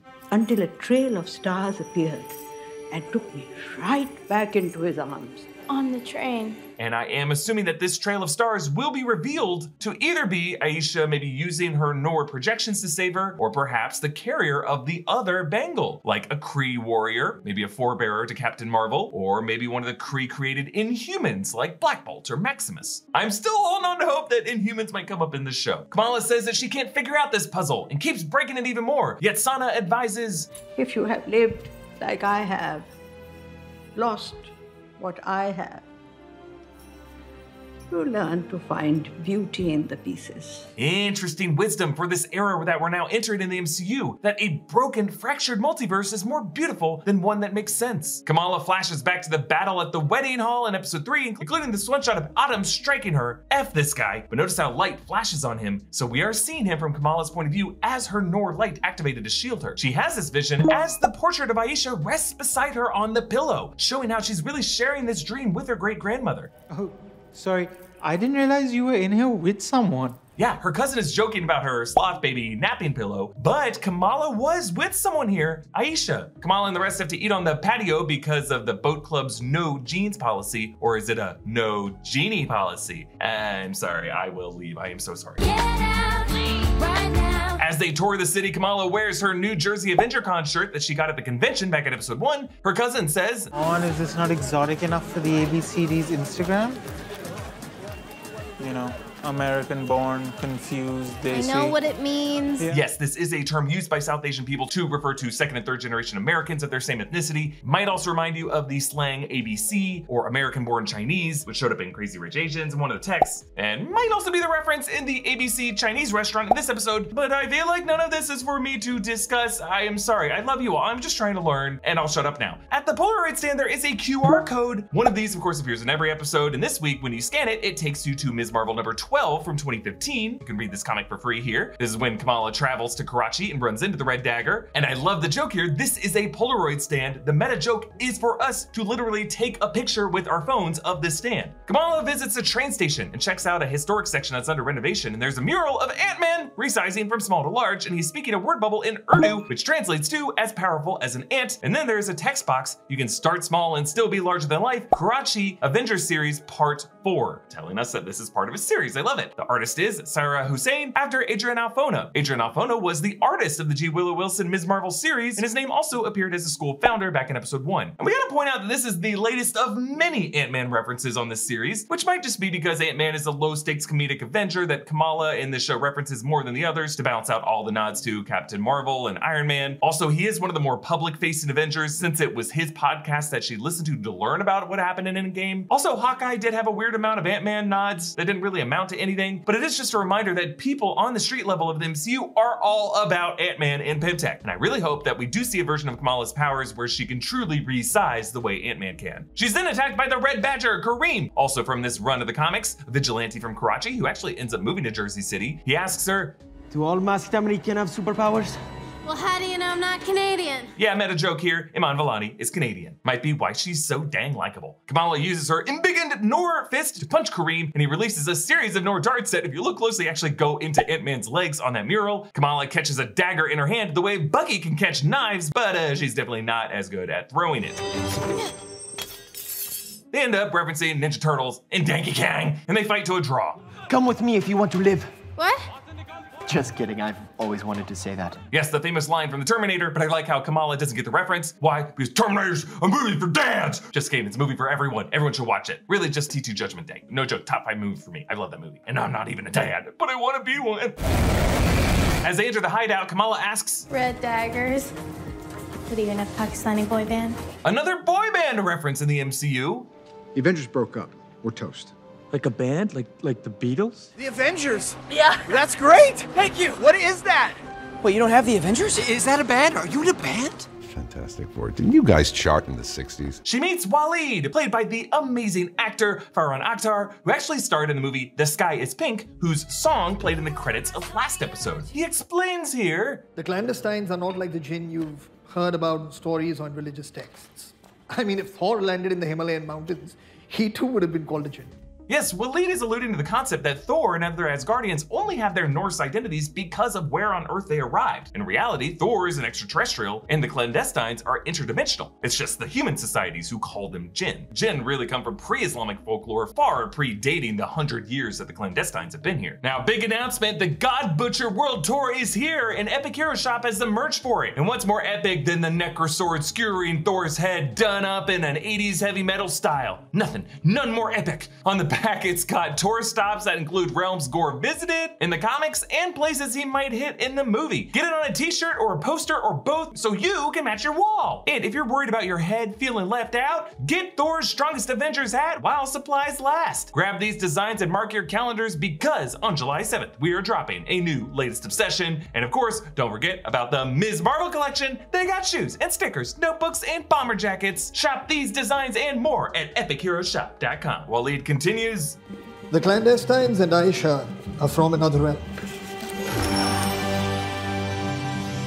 This map shows you how our two worlds coexist. Whoa, a lot to unpack here. So notice how Waleed twists a knob to show the superimposition of another realm map hovering over our world map. If you were to twist that knob a bit more, who knows, we might see a different realm map. Now, these lines do not adhere to any geography, topography, or tectonic features of our planet, or align to really any places of interest in the MCU like Wakanda or New Asgard, and that is accounting for if you were to align from Waleed's vantage point. But he uses the term realm, which is different from how universe has been used in the MCU. So to be clear here, universe refers to parallel realities within a multiverse, each of which are doppelgangers of our world with variants of ourselves living in it. The 616 universe, the 838 universe, the variants we saw in What If, the alternate Manhattans that Strange in America crashed through, because notice even the honeycomb world, the tube world, the bone world were still alternate urban Manhattans just made of different things. So set that aside while we explain what realms are. Realms refer to surrealist ethereal buffer zones between universes, where unknown beings live. So you got the Noor dimension, Ta Lo from Shang-Chi, and the realms beyond where the Dweller in Darkness originated, the Dark dimension, the Quantum realm, the Ancestral plane, the Duat underworld, Valhalla, the Gap junction, the Mirror dimension, the Astral plane, the Shadow realm from Thor Love and Thunder, Thanos' Soul realm. All of these seem to be accessed either via death or through physical waypoints that are hidden in our reality. And a lot of the realms I just mentioned definitely have spiritual connotations, and they seem to be constant to all of the universes that I mentioned in the multiverse. Like there might be only one quantum realm that is shared by all these universes, I think. Like I'm mostly getting that from Agents of S.H.I.E.L.D., in which they use the quantum realm to bridge different timelines, but this also seemed to be the case in Multiverse of Madness, where Clea took Strange to the Dark Dimension to fix an incursion between universes, suggesting that the Dark Dimension's a kind of neutral zone where they could look at two distinct universes independent of any one of them. Then we see another device showing the Noor dimension. There are many dimensions around us that we cannot see. This is just one of them. What is this? Aisha's home.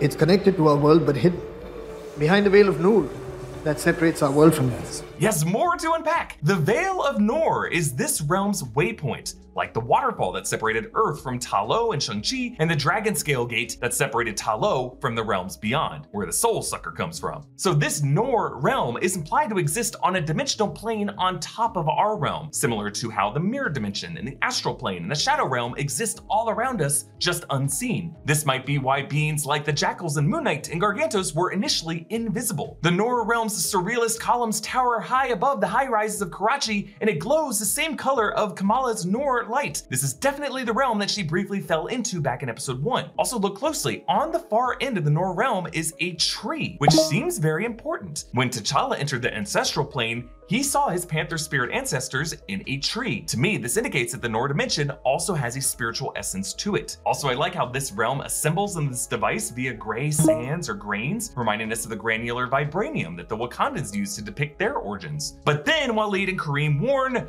Noor is the energy source of that realm. The Veil, the clandestines. Even your powers are made of it.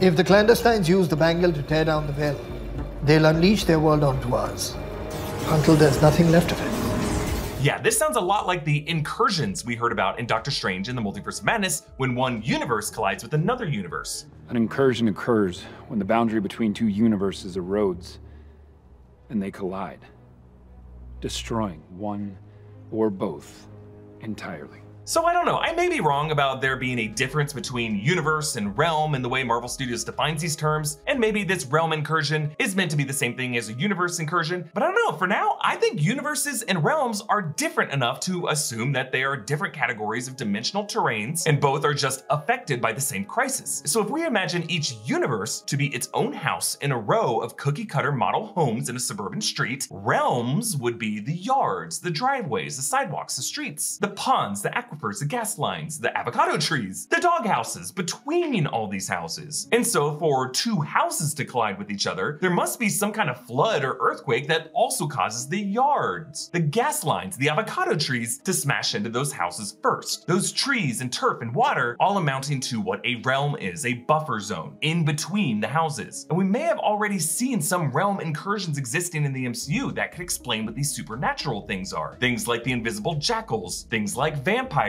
All these supernatural entities actually coming from realms, not other universes. And this earthquake in this extended metaphor could be a series of smaller tremors caused by several different disruptors, like Sylvie and Loki and Peter Parker, Doctor Strange, Wanda Maximoff, all of them leading to one big earthquake, causing it all to collide, realms and universes. I don't know, I could be dead wrong about all that, that's just where my head is at right now. And in this moment, Waleed eyes the bangle. I haven't seen that before. In all the years and everything I've heard about that bangle, there was no mention of an inscription. It says what you seek is seeking you.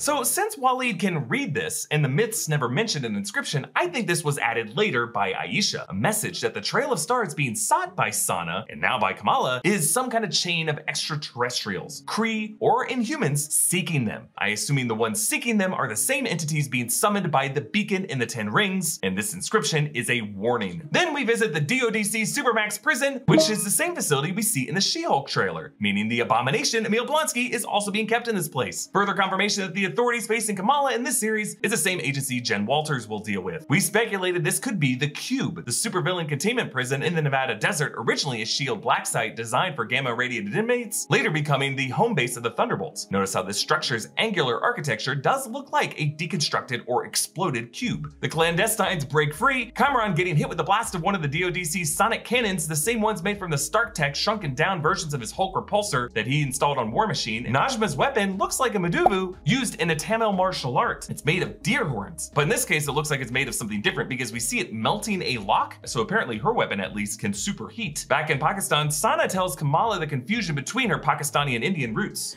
There is a border marked with blood and pain. Yeah, it's my favorite detail this episode when it comes to the thematic connection between Sana's border and the border of the Veil of Noor. Sana explains how all political borders are a bit arbitrary and leave us divided. This episode explains how the political map we thought we knew of this planet is actually pretty irrelevant when you superimpose the maps of other realms over this one. Kamala joins Kareem's friends around a bonfire as this guy sings an Urdu cover of Didi by Cheb Khaled. Meanwhile, Sana and Muneeba reconnect over going through Milk Toffees boxes. Remember, Sana sent Kamala the bangle in one of these boxes in episode one, and after Sana and Muneeba are finally honest with each other this episode, the trauma begins to heal as the next generation of women bond over eating these milk toffees. I just love the visual storytelling of this prop here. Waleed gives Kamala some fabric to wear, showing how she is piecing together her own costume, but the clandestines attack, leading to a chase in the streets of Karachi. Now they referenced Terminator earlier, I just can't help but see a parallel in the good guys on the small rickshaw versus the clandestines pursuing on the larger truck, and the Terminator John Connor and T2 on the motorcycle fleeing the T1000 on the semi. Kamala spots a family of four way insanely trying to pile on a motorcycle. The babies should not be on that. Kamala forms a Noor ramp that rolls the truck, and Kamala ends up back behind the wheel, a callback to her driving test in episode one, and just like then, she floors it in reverse initially. Waleed kills Salim, and then Najma stabs Waleed, and Kareem kills Adam, and Najma stabs the bangle, sending Kamala through this rift. Now, these tears in the fabric of reality look a lot like the slices that Clea made in the Multiverse of Madness post-credit scene, when she tore an opening back to the dark dimension, which makes me think that Kamala is not going back in time here. She's really going into the Noor dimension, the light dimension versus the dark dimension, and this is really a memory that she's going into. Of course, she finds herself back on that hot summer night at the train station that Sana referred to when the families were forced to separate during the partition. It is heartbreaking to end this episode here, but I'm not sure if Kamala is truly being transported back in time. Like, you could totally read this as Kamala is going to be the one to create the Trail of Stars. She's gonna save her own grandmother. It's gonna be a self-fulfilling time loop. Harry Potter saving himself. Another version of Hold the Door from Game of Thrones. I mean, I don't know, that might be the case. I'm just leaning towards this being a memory contained within the bangle. Because as Kamala walks around, no one really looks at her or reacts to her. There's just one guy who kind of steps around her when she turns to climb the train car. And Kree tech is known for being intertwined with memory. From Project Tahiti and Agents of S.H.I.E.L.D. warping certain aspects of Coulson's memory, to Carol Danvers having implanted memories causing her to see Skrulls as the enemy. So I think Kamala is on a similar journey of self-discovery that Carol was on. Similarly, witnessing this memory, but from the point of view of her grandmother or her great-grandmother. She may be walking in one of their shoes in this moment. Kamala does see a woman with her daughter, but this woman is credited as a different actress than the actress who plays Aisha. Also remember, Aisha was separated from Sana in this moment. Sana would have been with her dad and then separated from her dad as well, and then the Trail of Stars brought her back to her dad. I assume next episode we will see exactly what that Trail of Stars was, whatever cosmic source is seeking the bangle. Again, could be the Kree, or their Terran experiments, the Inhumans, folks like Black Bolt or Maximus. For now, at least, folks, the Inhumans are still on the table, and the final shot does show Kamala being enveloped in steam from the steam engine as haze surrounds the masses. A visual nod to Terrigen Mist. We may have missed the mist. And again, something I love about the closing credits, the locales have been all swapped from Jersey City to Karachi. On the green traffic light from Brad Winderbaum. instead of Kamala's Bolt logo on the light, it is the Pakistani flag. Another thing they swapped out, the art of Kamala sitting on the swing now hangs from the crescent and the star of the Pakistani flag. What was the title of this episode? Seeing Red. And like Doctor Strange, Kamala was forced to go on red. In this case, go on that smoke show Kareem. This is a breakdown of Ms. Marvel episode 5, which further breaks the MCU's already broken time travel logic, but does so in the most beautiful way, while doing to the clandestines what would happen to me if I ever tried to leave this blue dungeon. Am going to explain exactly what happened this episode, some interesting Easter eggs that you might have missed, and just some really cool visual details. This episode opens with a song called Tu Mera Chand by Suraiya and Shyam from the 1949 Bollywood film Dillagi, which itself was an adaptation of the 1939 film Wuthering Heights, the story of a tragic romance of lovers, Kathy and Heathcliff, who are forced apart by circumstance. Kathy first appears as a ghost before her story is told via flashback, just as this episode flashback on characters thought to be ghostly Jinn catching up to their tragic parting of ways. Actually, the song Tu Mera Chand's words translate to You are my moon, I am your moonlight, which if you think about it is a variation on what you seek is seeking you, Kamala herself being the light that she seeks. In fact, really the phrase what you seek is seeking you is a way to describe how all of us are on predestined paths. That loved ones and things that you seek out are also on a destined paths to find their way to you. The Marvel Studios title imagery transitions to a sepia-toned grainy film stock that skips in a 4x3 letterbox aspect ratio as this becomes a 1940s newsreel explaining the partition with the newly appointed Indian Prime Minister Jawaharlal Nehru, and we see Pakistan's political founder Muhammad Ali Jinnah, a mural of whom appeared in Karachi last episode. We see a map showing India and Pakistan dividing with territory to the rest of India demarcated for Pakistan, but also a section to the east. This would go on to become Bangladesh. But initially, at the start of the partition, Bengal's assembly voted to be part of Pakistan, that is until 1971, when war broke out and Bangladesh secured its independence as a separate country from Pakistan. We also see Mahatma Gandhi, the Indian freedom fighter, arguably most influential in India's independence from British rule, who was assassinated a year after this in 1948. This episode then jumps back to 1942, which was really the year Gandhi first openly, formally began pushing for the British to just completely leave India. Aisha flees a British soldier after leaving the ruins of where they found the bangle that was marked with the 10 rings logo back in episode 3. We intercut from her bare feet to his boots, and then she flings an ornate dagger at him. Presumably, this is her clandestine weapon, as they all can summon weapons, but it aligns Aisha more with the Red Dagger Society. Last episode, the Ms. Marvel titles flickered between English and Urdu. Now we only have one English one shown on a torn British flag, but the rest are in various languages. There's Urdu, Hindi, Gujarati, Punjabi, Bengali, Tamil, and Telugu. Actually, last week there was one in the colors of the 1992 Pakistan cricket national team, so it's just kind of fun to go through these one by one, so let's do it. After the Union Jack, there's one in Urdu showing the shadows of Muslim refugees on a wall with bullet holes in it. Then one in Hindi showing a field of flowers. Then another one in Urdu showing the mural of the red daggers. And you see there's one male and one female. Then there's another one in Urdu showing a photograph of refugees. Then another in Hindi on a blue train car marked with NWR, India's Northwestern State Railway, hinting at the trains that they have to take out of India. Then in Assamese or Bengali, in smoke by the train tracks. Then one in Hindi over a map showing the border between India and Pakistan. Then another in Assamese or Bengali. Then an interesting one, a cracked border in concrete on one side, Urdu, on the lower side, Hindi, a literal partition between Urdu and Hindi matching the border between Pakistan and India. Then one in Telugu, actually in a stylish font of Kannada, over a field of roses like Hassan's rose garden, overlooking a city in the mist, maybe a hint at the Noor dimension. Then one in Punjabi, stamped on a resettlement card for the Khan family. One man, one woman, one infant. Registration office 4291, index number 12. Cards like these were assigned to migrant Muslim families. Then one in Gujarati on a tapestry. Then another in Punjabi over a parody of the vintage Universal Pictures logo reading Marvel Studios Presents and a Sloth Baby production. And that of course is Kamala's YouTube channel. Then one in Tamil over a depiction of refugees. Then another in Gujarati, purple text on a cosmic background. And then one final one in Urdu, green over roses. In Hassan's village, a few kids are playing cricket. Women purchase some bracelets. And Hassan stirs up the crowd, citing Mahatma Gandhi to resist being forced off their land. A British soldiers break up the crowd. Aisha naps in Hassan's rose garden, roses being very important to the language and culture and the general lore of the country of Pakistan. Inside, Hassan says, You know, when I saw you out there, it reminded me of my favorite poem. When the soul lies down in that grass, the world is too full to talk about. What you seek is seeking you. Yes, he's quoting Rumi, a 13th century Persian poet, a Sufi mystic, and a major influence on the entire Muslim world. Aisha is smitten and reveals her name. My name is Aisha. Aisha, she who lives. A beautiful name. Yes, she who lives, ironically, dies this episode. Some time passes, and Aisha gifts Hassan with a new walking stick as she sports one of the roses in her hair, looking a lot like Sana's painting of her that we saw last episode. They both rest their hands on her baby bump as the bangle is framed right beside it, symbolizing how this bangle will pass down through the women of this lineage. Aisha sings an Urdu lullaby, and as the division between the Muslims and the Hindus grow wider, Najma finds Aisha and gives her until sundown to retrieve the bangle so that they can go back to their home dimension. So Aisha gets the family to flee to the train station, but Hassan confronts her. Who's that woman you were talking to last night? Yeah, notice the music mixes in that menacing sting that's always been used to introduce the threat of Najma.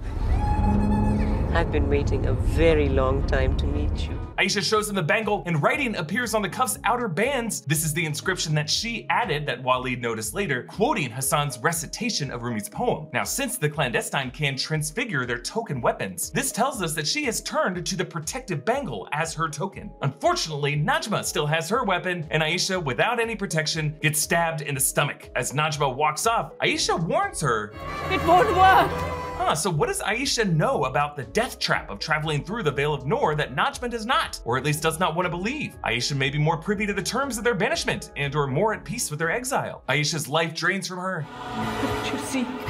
Seeking you. And the bangle glows, as do Aisha's eyes, and this either coincides with or causally triggers Kamala's arrival through the rift in time opened up by the bangle from the present day last episode. Yes, this episode confirms that Kamala actually traveled back in time, and it was she who cast the trail of stars that saved her own grandmother. Now, this type of time travel is referred to as a closed loop or predestination, wherein unexplained anomalies from the past are later revealed to be the effect of present characters looping back to the past events to set the timeline the way it has always been. It's actually one of the more common tropes in time travel fiction. You may know it from Prisoner of Azkaban, where a mysterious Patronus that saves Harry Potter was actually cast by himself looping back to the past. Or from Terminator, where the human resistance leader John Connor was conceived by the same protector who went back in time to save his mother. Or Christopher Nolan's Interstellar or Tenet, where bizarre phenomena happen early on in the movie and are later revealed to be the same heroes looping back on themselves. Filmmakers will often default to this because these twists do pack some narrative catharsis, suggesting that the chaos of the world is actually part of a divine plan. But it also implies characters have no free will, since for their lives to even exist, they must make the choice of time travel. That choice has really been made for them. Now, you may feel this violates the MCU's time travel logic from Avengers Endgame, which suggested traveling back in time doesn't cause you to live within the past as it was, but rather form a new branch timeline, a separate reality. However, Endgame's own ending contradicts that logic with the confusing arrival of old Steve Rogers. The screenwriters claim Old Cap lived in the background of the MCU as we've known it, which violates their own branch timeline logic. Meanwhile, the directors maintain Old Cap must have traveled back to this timeline from a different reality. Ultimately, folks, the narrative priority with that final scene was not logic, it was really emotional catharsis. But then we got Loki, which gave us a lot of new rules of how time travel works in the MCU. But that series ended by suggesting that all the events of the MCU were part of He Who Remains' predestined script, the sacred timeline. And that includes even the eventuality that the sacred timeline would unravel into infinite branches. The gambit He Remains posed to Loki and Sylvie was really a false choice. He knew that Sylvie would stab him and that the timeline would rupture into a multiverse. He wanted that to happen. That was part of his plan. Now, He Who Remains monologue and Loki's finale do remain up for interpretation. But one conclusion we can all agree on is that Marvel Studios sees themselves as master clockmakers and their universe as a predestined roadmap, a timeline engineered in universe by manipulators like Kang in specific ways that we're about about to learn a lot more about. So, this seeming accident of Kamala connecting with her great grandmother through these bangles through time was preordained and designed by someone. And if you look closely at those branching timelines around the Citadel in the Loki finale, many of them do intersect with each other and bend backwards upon themselves. Each intersection may represent an incursion. Multiverse of Madness showed us what an incursion looks like when universes collide. Waleed shows us what an incursion looks like when realms collide. And now we seeing what an incursion looks like when timelines collide. Now, Aisha does say here, Bangle worked. Sana, it brought you back to me.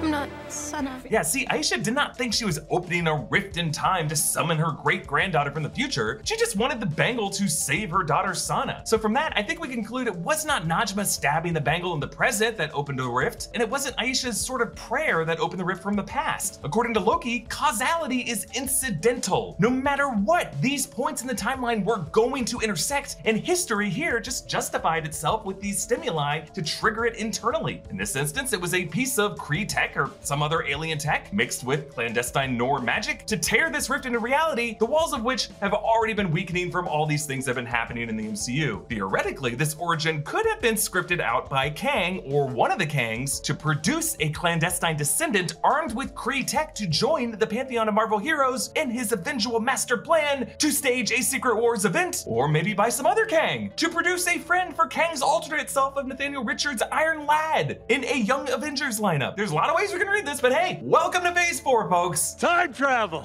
None of this makes sense. So yes, Kamala creates a Noor platform to create a path for Sana, but then she gets knocked by someone and the platform dissipates, but stays in this star form that is controlled by Sana herself, guiding herself back to Hassan. She was able to do this because she had some Noor magic in her blood and had the bangle. So in a sense, one bangle was reunited with another bangle, just the same one through time. However, we gotta remember there is another bangle, one for the right hand that exists somewhere hidden in this world. I'm assuming among the collection of Dane Whitman's Uncle Nathan. So Kamala returns to the present, where the Veil of Noor rift has opened. It glows from golden to teal colored to fuchsia, and it widens and widens. As Fariha reaches into it, she turns into a statue of what this episode's audio description refers to as, quote, black crystalline rock, which then crumbles to reveal her skeleton. And yes, this transformation does resemble the way Terrigenesis is shown in Agents of S.H.I.E.L.D. Terrigen Mist forms a rocky cocoon around a person, and then they emerge from that cocoon as an inhuman with powers. In the clandestine's case, clearly not. But a similar aesthetic is at least worth noting. Maybe Terrigenesis will be revealed in the series as a worthiness judgment in the Noor realm, like what we saw in the Duat realm in Moon Knight with the scales of Anubis. Like in this case, as you pass through the veil, if your heart is impure, you emerge from that cocoon dead. But if your heart is pure, like maybe if Aisha or Kamala were to try to pass through this veil, they'd emerge from that cocoon transformed. Or I don't know, maybe they just wanted to show how the Veil of Noor's energy differential melts you into bones like the Wrath of God in Indiana Jones. But Disney made them put up this goofy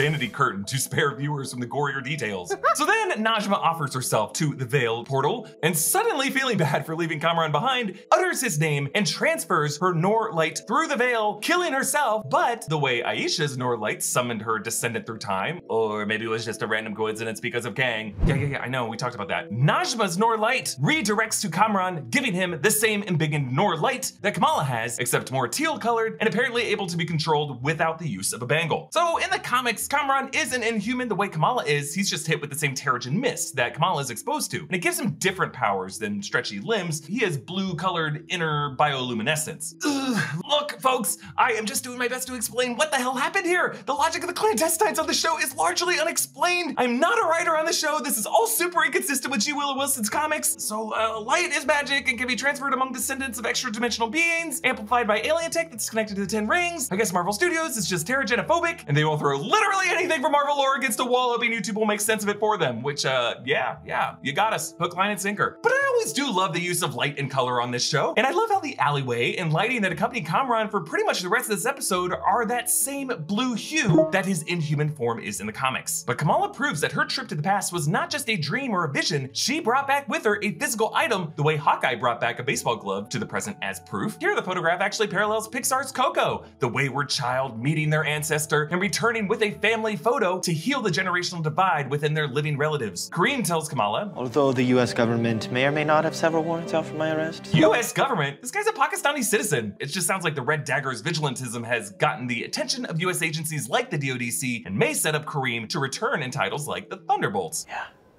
Yeah, I'll be fine. He could be another one of Val's recruits, where I'm sure Kareem will just have to deal with quite a few racist microaggressions from John Walker. But Kareem gives Kamala his red scarf. Remember last episode, Waleed gave Kamala this blue vest. Sana gave her the bangle, Bruno gave her the mask, and I guess she provided her own red shoes that the mosque thief let her keep. Really, we're seeing all the components of her final form contributed to her by different influences within her community. And now the final piece of it, Muneeba finds her golden necklace that previously showed Kamala's name in Urdu, but now bent to form her swishy bolt logo. I assume next episode, Muneeba will complete the arc of the unused Hulk outfit and create Kamala's final superhero look, and Kamala will actually be a good daughter and wear it. In the scrapbook that they look at are some old photos of Muneeba and some ticket stubs from concerts she went to, one reading Bruce, presumably for Bruce Springsteen, whom Sana calls Bruce Springfield, before Muneeba corrects her to Bon Jovi, and then there's a blue ticket stub, but the blue ticket stub was for a show at the Oakland Coliseum, telling us that Muneeba spent some time in the Bay Area. Kamala says, Why have I never heard of this? which is what Muneeba asked earlier about the Find My Phone feature. Then why am I only just hearing about this? Yes, the mother and daughter are more alike than they realize. Kamran finds Bruno in the alley, this interaction witnessed by a closed circuit security camera. Presumably the DODC was using the government facial recognition software we know S.H.I.E.L.D. uses to track Loki in the 2012 Avengers. That must be how they tracked Kamran to this location. Kamran doesn't really get Bruno's Argon science joke poster. This is exactly the kind of nerd humor that Peter Parker wears on his shirts. Actor Matt Lintz actually auditioned to play the MCU Peter Parker before the role went to Tom Holland. Like every scene I watch this guy in, I'm like, yeah, he could have been a pretty great Peter Parker. Kamran also doesn't know who the inventor Nikola Tesla is. He assumes it's just poster for Tesla cars. But then one of the DODC drones, retrofitted from the Stark drones from Far From Home, appear outside the window, and Kamran uses his Nor to swat it away, blasting out the window glass, but Bruno's tchotchkes are still standing. The drone retaliates by completely leveling the Circle Q shop. Between this and Delmar's Deli in Queens that we saw in Spider-Man Homecoming, the bodegas of the New York area are under attack and we must protect them at all costs. So now with the bland Destine's toast and the Veil of Nor closed, it seems like the final conflict of the finale will be with Agent Deever and the DODC. And sure, maybe a trigger-happy racial profiling government agency will be enough, especially with this agency returning She-Hulk and maybe Secret Invasion. But remember, it is still a mystery where the bangle came from and how it is connected with the Ten Rings. So we may learn more about Deever and Cleary's connections to a broader conflict with the Kree ahead of the Marvels. And of course, I think Carol Danvers owes us just a little cameo. This is a breakdown of Ms. Marvel episode 6, the finale, which establishes the MCU Kamala Khan is a mutant with Kevin Feige erasing Inhumans faster than wanted did the mouth of their king. From major Marvel proclamations to twisty post-credit huhs, to this episode's astute attention to detail with MCU timeline logic, I am gonna break down everything you missed this episode and explain it all without a Home Alone chalkboard. The episode opens back in Jersey City. Agent Deever says, This is what happens when the wrong people get powers.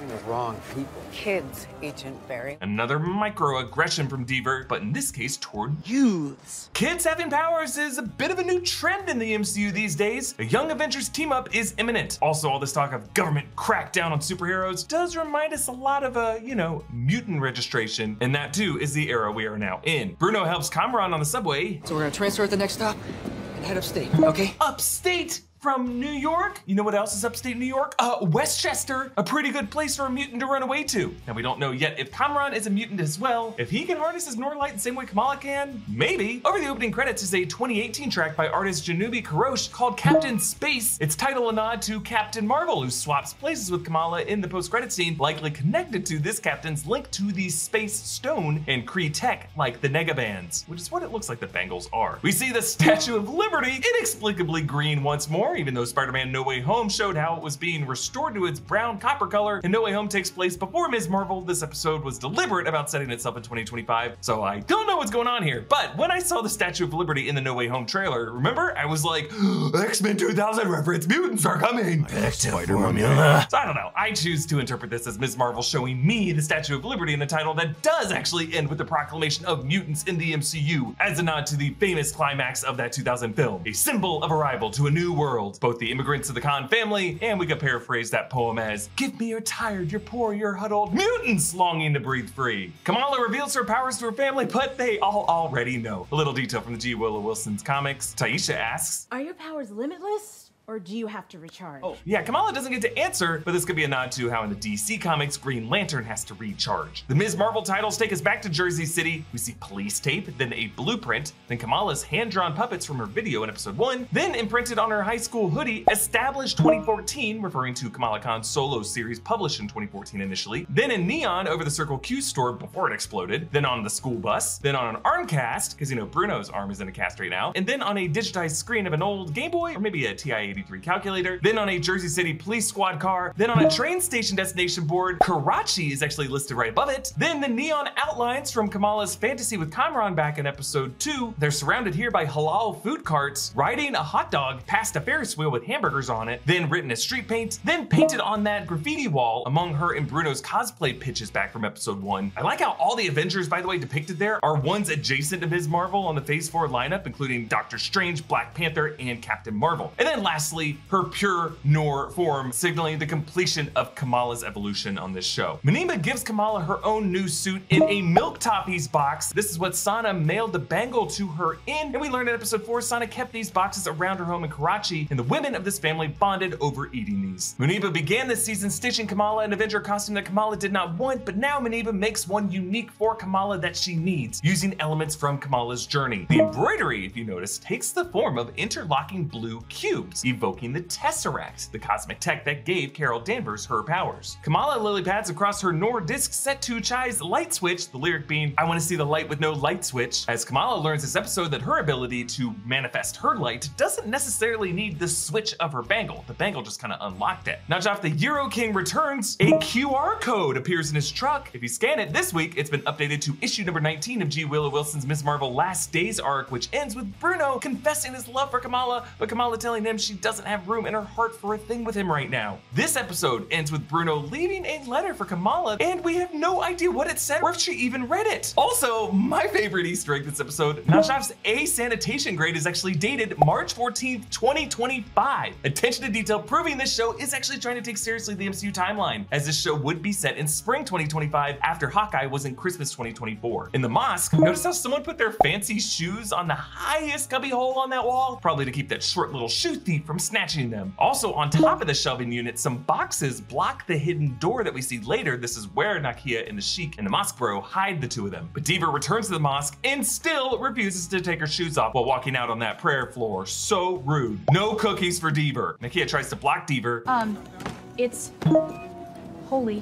Whoa, one of the agents totally just shoulder checked Deever. She seems pretty isolated among her fellow DODC investigators. The DODC ain't all bad. The Sheik gives Bruno and Kamran the disguises of ball caps, haram and halal, the words for forbidden and permissible. This is keeping up with the running MCU gag of using mere ball caps as disguises, starting in Captain America Winter Soldier, and then mocked in Ant-Man the Wasp. Relax, no one's gonna recognize us. What, because of hats and sunglasses? It's not a disguise, Hank. We look like ourselves at a baseball game. And in Captain Marvel. Does uh, announcing your identity on clothing help with the covert part of your job? Kamran's Noor spasms.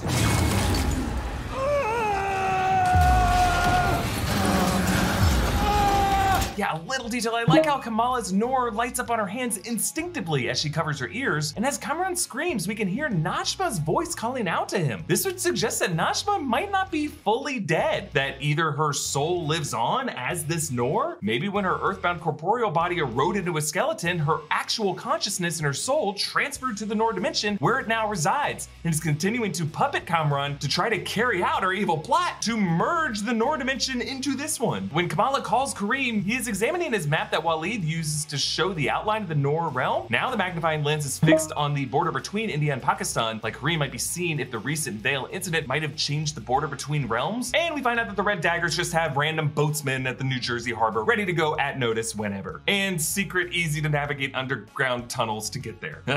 Throughout the school, the posters include if you see trash, throw it away, and then stones of diversity build a path to peace, and then a comic book club, nice, and then another one for Dustin Berry for president, a nod to the set crew member Dustin Berry on the show. Nakia joins them along with Zoe Zimmer. What are you doing here? The theater has good lighting. It's where I film my TikToks. Remember in episode 2, Kamala and Bruno tested out her powers backstage at the theater, which might be how Zoe figured out Kamala was her hero. Their plan involves them swiping hoodies from lockers and a skeleton from a science lab. Notice how Bruno just goofs around in the background dancing with one? Bruno Mistress Death Phase 4 hookup confirmed? And these chemicals. The chalkboard actually lists hydrogen peroxide, dry yeast, warm water, and liquid dish soap, which actually are the ingredients for that elephant toothpaste foam that you see in YouTube videos. The DoD soldiers arm their sonic cannons now remember, these are Stark Tech, the repulsors he designed for the army to use on Hulk in the 2008 film, and then later installed in War Machine's armor in Civil War and in the drones in Far From Home. Actually, since the DoDC now owns those drones, they may have reverse engineered those repulsors from the drones themselves. And here notice how they charge by using the same charge sound effect that Iron Man's technology uses.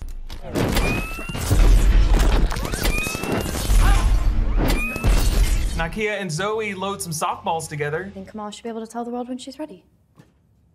Yeah, this is a little nod to Zoe's situation in the comics. Zoe later reveals a major crush on Nakia. Zoe herself is definitely waiting to tell the world when she is ready. The DoDC agents bust in to find Bruno's AI Amazon Alexa knockoff Zuzu, which plays Ko Ko Korina from the 1966 Urdu film Armaan, sung by Ahmed Rushdi. It's considered the first real pop song of Pakistan. The fact that they cut it off by blasting Zuzu is criminal. Zoe goes live on TikTok where the comments include, hang on, help is coming, hashtag help Zoe, everyone Jersey City get to CHS, Avengers go to Coles High, Zoe needs you, on the way Zoe, hashtag popcorn popcorn, backup coming, Zoe squad, on I-78, we helping our girl, stop commenting, go to CHS now. And then popcorn popcorn, remember, is a callback to Zoe's low calorie video that Cleary really loved. Popcorn, popcorn, popcorn. Their plan involves them confusing the DoDC agents by disguising themselves all in the same red hoodies and hats, a trick that we actually saw in the 1999 remake of the Thomas Crown Affair and in my favorite episode of Nathan For You. Outside, Barry asks if he can multiply now, uh, a nod to the Marvel Mutant Multiple Man. Not that mutant Barry. So they set up one of the skeletons to stab a knife into a balloon that pops the ingredients together to make the foam. Now notice they dressed up the skeleton to look like Norman Bates' mother from Psycho. They put a wig on it, and they also put a face and hair on the balloon. It makes no sense how many steps they added to this, but I love it. Kamala and Kamran hide in this office. This is actually Mr. Wilson's guidance counselor office. Now remember, Kamran interrupted Kamala and Bruno's kiss of the wedding, and now Bruno returns the favor to be the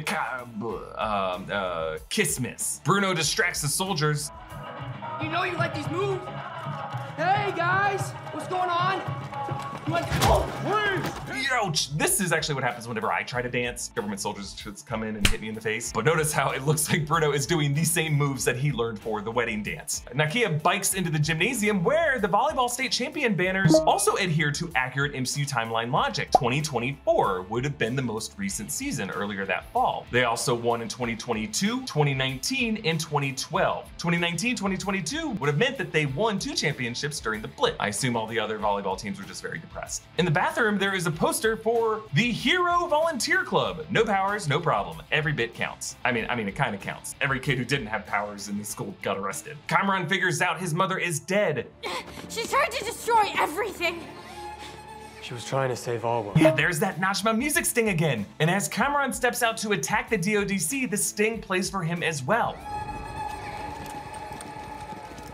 And then every time he does something really bad, it kind of seems like Najma's disembodied soul is kind of possessing Kamran in this episode. Kamran uses his Noor for hostile attacks, while Kamala uses her powers defensively. She forms a shield to protect both of them, but Deever wipes it out with the big sonic cannon, just like the truck-mounted one in the 2008 Hulk film. But then Kamala says it.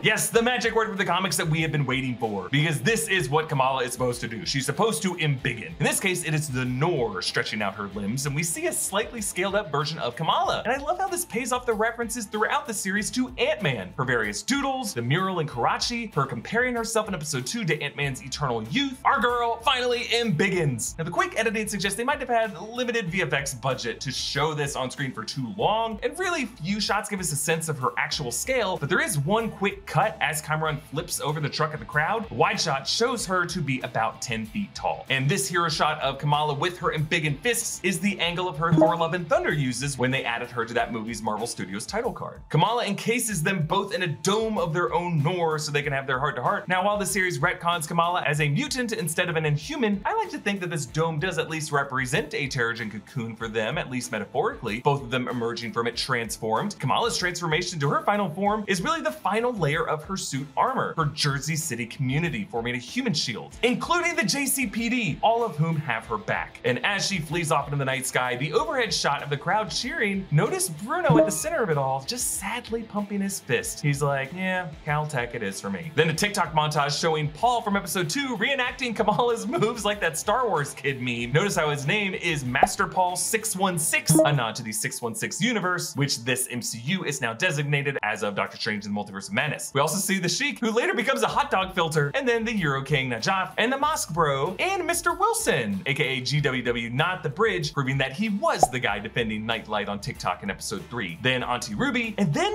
this account. She looks so familiar. Yes, the real GWW is a cameo by G. Willow Wilson, the actual comics writer behind the 2014 series that this is all based on. And then it ends with this little jerk. She's a freaking action superhero. Mad skills. Yes, Hami Dizzle is the shoe thief whom Kamala saved in episode 2. His caption, of course, is ice cream pizza for life because he loves it. We get this moment where Kamala nervously takes in her own reflection and strikes her comics pose, this bookending Kamala's awkward adjustments to her cosplay in front of the mirror back in episode 1. Back then she was a pretender, now she is the real deal. Yusuf tells his daughter, And if you saved one life, well, you saved the world. Yes, this is a verse from the Quran. Whoever saves a life, it is as though he had saved the lives of all mankind. In this case, saving Kamran literally saved this realm from destruction. And if you remember back to the first Iron Man, Yinsen and Tony Stark, time proved that by saving Tony Stark, he saved everything in reality. Yusuf reveals that they named her Kamala because Kamal means perfect in Arabic, while in Urdu it is closer to wonder or marvel, making her their little Ms. Marvel. So if you think about it, her mother gave Kamala the suit that was made from gifts from Waleed and Kareem with a sigil from her necklace that had her own name in Urdu. Her grandmother provided the bangle, Bruno provided the mask, and now her father provides the name Ms. Marvel. And I just love the shot of Yusuf watching her go. Magic. Absolute magic. We see her leaping away, reflected in the lenses of his glasses. And Kamala sits on the lamplight looking across the river at Manhattan, her red scarf in the breeze, recreated directly from the cover of Ms. Marvel number 5. And I always just love how this image frames Kamala as a Jersey City hero, not rumbling with the bigger names in the city, but opting to protect her home neighborhood on this side of the river. One week later, Bruno shows up wearing a shirt reading either gigawatt or gigawatt, either way a nod to his past Marty McFly look, and he explains why the bangle in the Noor empowered Kamala, but not the others of her family, making the boldest declaration we have heard in the MCU in quite some time. Kamala, there's something different in your genes. Like. like a mutation. Whatever it is, it's just gonna be another label. Holy shit! Yes, that was Ron Wasserman's 90s X-Men animated theme, which we also heard when Charles Xavier floated in in Multiverse of Madness.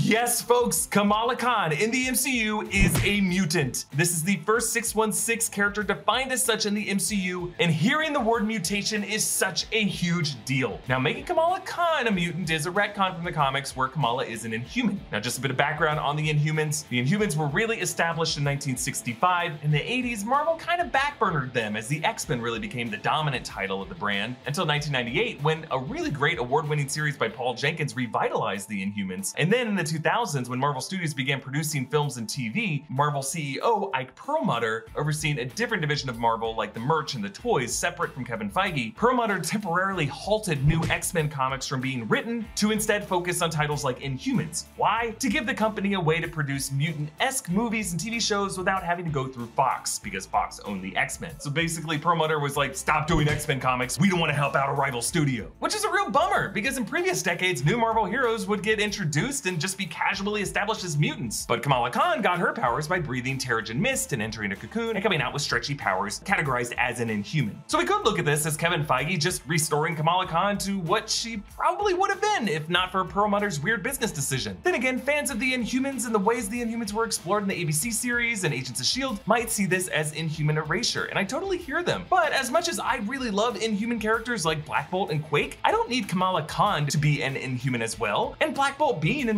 Multiverse of Madness means that Inhumans exist throughout the multiverse, including this one most likely, and Kamala being a mutant opens up other doors for the MCU. Remember, at Comic-Con in 2019, Kevin Feige did promise that mutants were coming, but he did not say X-Men necessarily, just mutants. And now we learn this is what he meant. Mutants, of course, include the X-Men, but also the Mutant Brotherhood, the Runaways, Deadpool. Namor is technically Marvel's first mutant, and we're gonna meet that guy in Black Panther Wakanda Forever. And do not be surprised if they call him a mutant in that movie. And of course, Wanda Maximoff and her sons are also often considered mutants. Mutants all share the mutant gene, or the X gene. It occurs randomly throughout the population and can get triggered by puberty, trauma, or energy exposure, or some other kind of stimulus. In Kamala's case, it was the bangle. Kamala's bloodline came from the Noor dimension, but no one else in her family had powers, even with the bangle. Only Kamala, because of her unique mutant gene activated by the bangle that allows her to draw power from her ancestral dimension. Yes, it's a little confusing. Yes, it might have made more sense just to make her an inhuman, but oh well, now we get mutants. And along with Kamala, many more individuals will soon be established to have a mutant gene as well. Maybe some who have always been here just outside of our view. Like in 616, Magneto could have still had an origin in World War II, we just haven't seen it yet. Other mutants may arrive into 616 from another universe via an incursion, like how 838 had Patrick Stewart as Professor X, and Ryan Reynolds, Deadpool, is confirmed to join the MCU. With Secret Wars on the horizon, any number of beloved X-Men actors could join the MCU as well. Look folks, we're gonna be discussing the mutants a lot more in future videos. This was a seismic game changer and I am stoked. Nakia says, Get in, losers. We're getting shawarma. both a nod to the Avengers' favorite post-battle snack and the line from Mean Girls. Get in, loser. We're going shopping. The closing credits merge imagery from Jersey City and Karachi, showing how both sides of Kamala's worlds are now united. Then on to the post-credit scene, where Kamala's bangle glows a new color and her body twists into ribbon, and then she wakes up as Captain Marvel Carol Danvers, Brie Larson making a cameo. While at first this reads like a nod to Kamala's initial transformation as she left the Terrigen cocoon into a doppelganger of her hero Captain Marvel in the comics, really what happened here was Kamala and Carol swapped places because she doesn't look at her own body in the mirror confused, she just kind of looks around her surroundings confused where she is. But notice how Carol's suit is updated, whereas before it was blue on top and red in the midsection and legs. Now it is red on top and blue everywhere else, down to blue boots. It actually looks more similar to her 90s look at the end of the Captain Marvel film. She also does not wear the full red gauntlet length gloves, her forearms are bare, now with shorter wrist length fingerless gloves. Also notice Kamala's teleportation just looks different than you'd expect. Her body twists into ribbony putty. We haven't seen this kind of production design in the MCU. There's no glowing portal, thank God. It's a whole new design, meaning a completely new form of technology and magic is unfolding before our eyes. And in Marvel Comics, when characters like Nightcrawler teleport, they're actually traveling through the medium of another dimension in between those points. For Nightcrawler, it's the Brimstone dimension. Here, I think it is teleportation through the negative zone, because I think the bangle is alien Kree technology based on the Kree Negabands from Captain Marvel comics. In those comics, the Negabands were given to Captain Marvel by the Kree Supreme Intelligence and trapped him in the negative zone. Meanwhile, on Earth, former Avenger Rick Jones uses these bands, clinks them together to trade places with Captain Marvel, just like these two women are swapping places. So I think Carol was in possession of the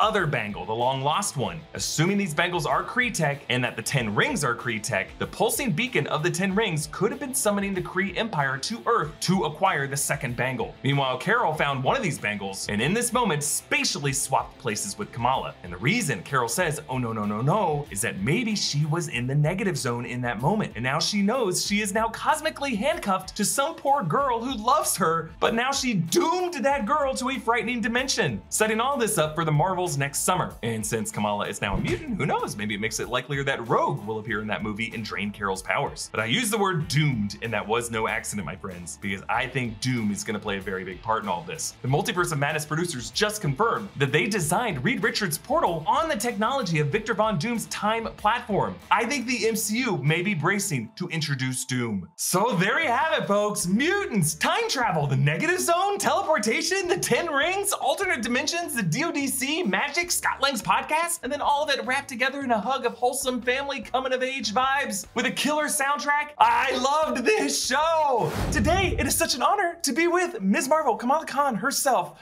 the first to be identified of a certain beloved category of Marvel superhero in the 616 MCU, or is it 616? We'll, we'll talk about that. We got Iman Vellani here with us today. Thank you so much for chatting with me, Iman. Welcome. Thank you. This I am so glad I got to experience the welcome back to New Rockstars intro. That's dream come true, man. Amazing. Well, this is a dream come true for us too. We're we're obviously a huge uh, fan of you here on this channel. This is actually the first time we've had an Avenger with us in the Blue Dungeon. Well, are you an Avenger? Can we call you an Avenger? Is that okay? Ooh, I I consider myself one. That's no fine. one's uh, granted me the the access to calling myself that, but we'll see. Eventually, maybe. Yeah. How how does someone get knighted in Avenger? We saw you know uh, Tom Holland get like the, Yeah. the knighted thing, and you know people like us are like, okay, so that is definitively how one becomes an Avenger then. I know there's some sort of initiation process. It's Sure. it's all in Kevin Feige's mind now. Yeah. Uh, and I, I just also asked because, like, I, I don't know, I don't go on cruises, but people are like going on cruises, seeing videos of you with Anthony Mackie, and they're asking me to break it down. And I'm like, I don't know what this is. I don't know what it is. we shot it like I I got to London to film the Marvels last year, and it was like the first thing we shot as soon as I got out of quarantine, and everyone was so confused what we were filming. It- they just like handed us the script and then put me on some green boxes, and I was like jumping from one thing to another and like talking to Anthony Mackie's recording. Um, it was weird. It was fun, but weird. Yeah. I think that's a testament to uh, to how well you are handling this. You know, Marvel actors are not given enough credit for the the guessing game that you all have when you're cast on these things, and the fact that you just look so calm and collected and confident in the way that you're playing Kamala, and just look like you are in on the loop and part of the plan. And it seems like there's no confusion at all in the way you've been doing this. I, I feel like I've prepped my whole life for this. I think you are part of that reason. Now that I think about it, just like the theory breakdowns, the trailer breakdowns, the poster breakdowns, all the breakdowns. I feel like the YouTube nerds are the, the backbone of this fandom. You know. let's let's actually talk about your background a little bit because you know obviously you're the first of many things in the MCU. Again, congratulations on on how well you've been doing. It's just been a delight to Thank watch you. you on the show. Uh, and I think part of the reason we love you here at New Rockstars is the fact that you are a bit of an egghead, like we are. Like you know, I think you might be the first true MCU fanatic to actually get cast as a Marvel superhero. You know, a lot of actors claim that they're fans, but when you you know follow up with them and press them, they'll be like, "Well, my kids love the Spider Mans, and they told me it's cool." Uh, but is it true, you know, that you carry around a notebook filled with MCU facts? Do you have it on hand? I love it. this thing goes everywhere with me. I think this is um, Kevin Feige's biggest fear. This notebook. Don't let that out of your I- sight. no, I'm like terrified of like leaving it somewhere and then everyone's just like finding my deepest darkest secrets. No, but um it's it's funny. So the first time I met Kevin was over Zoom and I was just hyperventilating and then go to production and they're like, "Okay, Kevin's coming on Wednesday." And it's Monday. And he comes and I just like stared at him until he left. I couldn't verbalize words or be a human at all. And so I had written this like four page letter in case I wasn't able to talk again. And the first page was like me gushing over him. The next three were like 70 something questions I had about him in the MCU, like just how much hours of sleep he gets and like things about the fandom in general. And, and he like called me the next day and answered the first 40. And so the rest of the questions that he hasn't heard are in here. And That's every time I get the opportunity, it's just like, so why did you do this? I mean, you were never allowed to get to the end of that list. I want you to just keep asking him questions because I'm think you're giving him ideas. You're giving him great ideas, I'm sure, for the future. I, I like to think so. I love it. I have on standby my notebook that I bring into movie screenings. Like whenever I go, I was gonna ask, Right- what is your writing. like process? Oh, and how I'll are you doing? now. I see. Literally every time new projects are announced, I'm like, my god, all the work that these guys have to do. You know, are you are you doing okay? Are you getting sleep? That is so sweet of you to ask me that. Like I'm uh that's so kind of you. I'm like Comic Con just happened, and I'm like, these guys, no, no sleep for the God. No seriously. rest for the weary. I, you know, look, this is a, a labor of love here in New Rockstars, and I'm so honored to be able to do what we do and to have this as a job. And like, I think the only downside is, you know, eh, when I go watch movies, it, I do have to bring this notebook, and I am scribbling the whole time, and like. I'm not allowed to like look, take my eyes off the screen, so I use my thumb to just like keep my place in a dark movie theater. And I'm like I'm close to the end of the page. I'm writing on my pants now, so I have to flip. Uh, so it is work, but like I don't know. It's I can't complain about my job being to watch uh, hilarious, awesome uh, shows like Ms. Marvel and and everything else. Um, I also wanted to ask uh, you if, just to make sure it's okay. You know, you've done a ton of interviews. Like it's crazy. You know, for prepping for this interview, I'm like watching you on Jimmy Fallon or on The Daily Show, and I'm like. Well, I'm not Jimmy Fallon. I'm not Trevor Noah, but I am uh, a YouTube nerd, and I feel like I want to get your permission. Is it okay if we just geek out about the MCU for the rest of this interview? Yes, please. This is.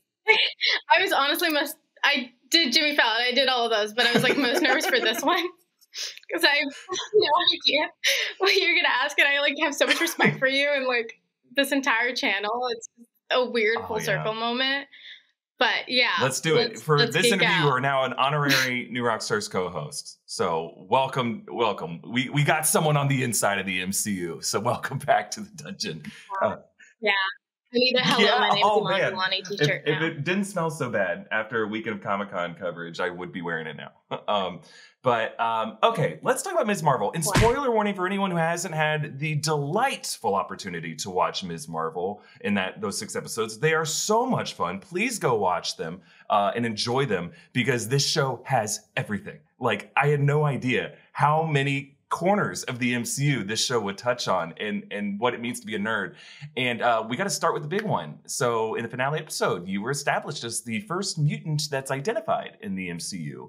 And I assume that you saw the Comic Con announcements this past weekend. No mutants so far announced on the schedule, but we assume they're coming. I assume you can't talk too much uh, or really at all about where we might see mutants next. But I just want to ask you, as a fan of all this, where do you want to see mutants show up next?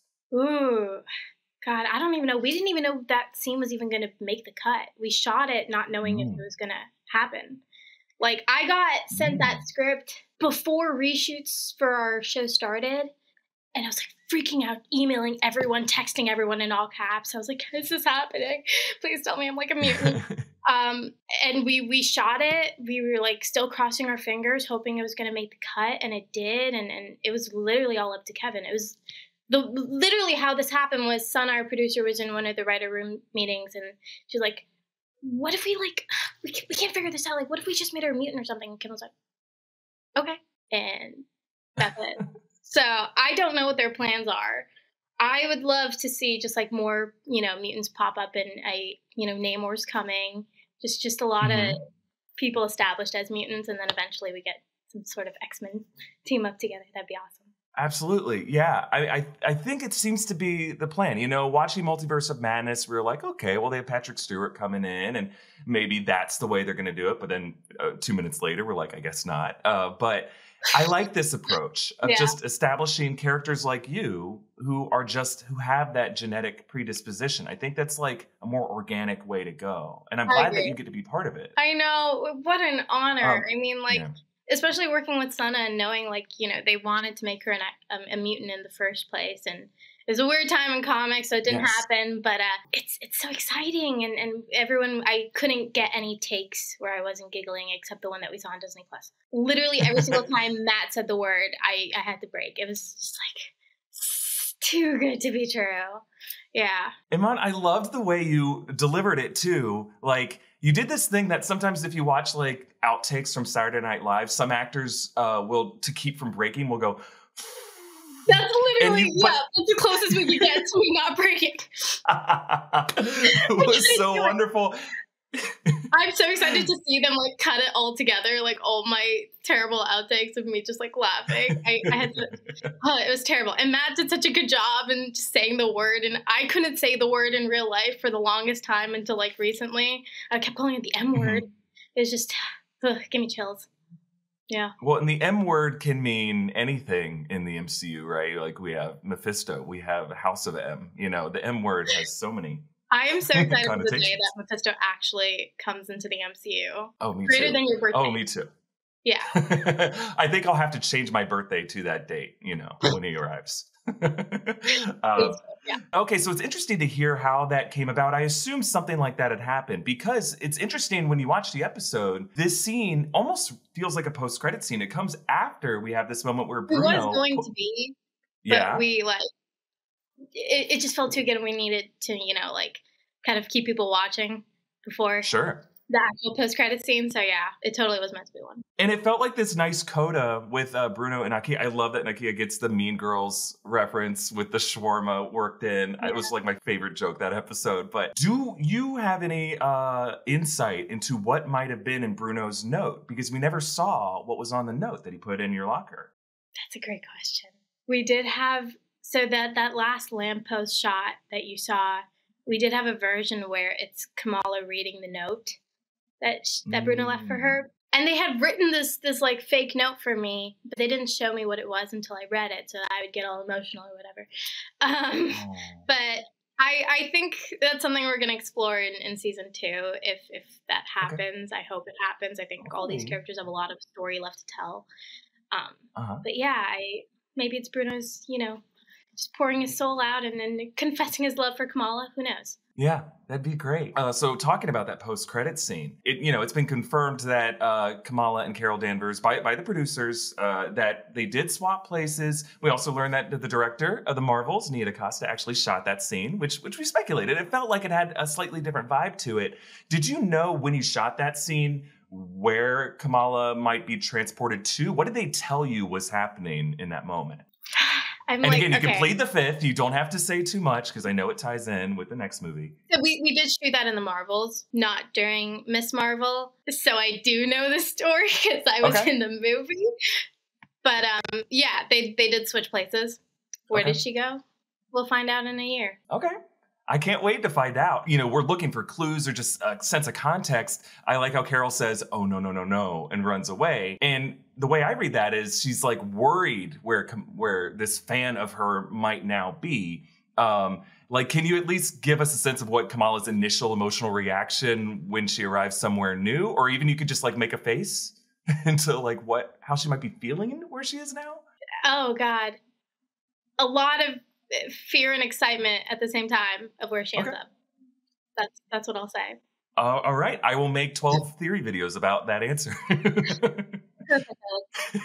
I wanted to ask you. Uh, oh, actually, let's do a little segment here called that I'm just going to call "Debunk DeVos." This is where uh, you know I have. There's some questions about how exactly Kamala's powers come from her mutation, because obviously introducing her as a mutant seems like an answer to a question. But she has the Noor light, she has the Bangle, she has the X gene. All three seem, seem to be necessary. And my explanation on this, and I, I kind of want you to debunk this, uh, but like I'm thinking that the, the mutant gene might be the lock mechanism. Her family history with the Noor dimension might be on the other side of that locked door, the source of her power, Mhm. and the bangle is the key that unlocks the lock to open the door. Is that Yeah. the case, do you think, specific to Kamala Khan? Or do you think this could be uh, a way to describe all mutants in the MCU going forward? I I feel like it's specific to Kamala. I think you're on the right track with it because we never really fleshed it out just because we didn't know if it was the scene was actually going to happen. But I made many theory boards prior to filming because I was so confused. um, the way I justify it to myself is like, yes, the bangle unlocks her X gene. I think her actual mutant power is the ability to facilitate the Noor. Mhm. So she is part Jinn and she's part human, but she can do what Kamran can't. Like I don't think Kamran's a, hum- a mutant because he can't harness the Noor the way that Kamala does. Mm. He can't like control it the way she does. And I say I think that's kind of her power. Yeah, that's kind of what I'm going with. That that her ability to kind of make shapes out of it. is is like the mutant power, like like armor from the X Men. Mm, It's it's a mhm. very similar vibe, and I think that's kind of what inspired you know the the, the way we animated Kamala. Yeah. I like that. I like that there has to be some kind of like biological component, a like a muscle memory that you're reconnecting with Yeah. in order to be fully mutant. I like that approach. Um, Mhm.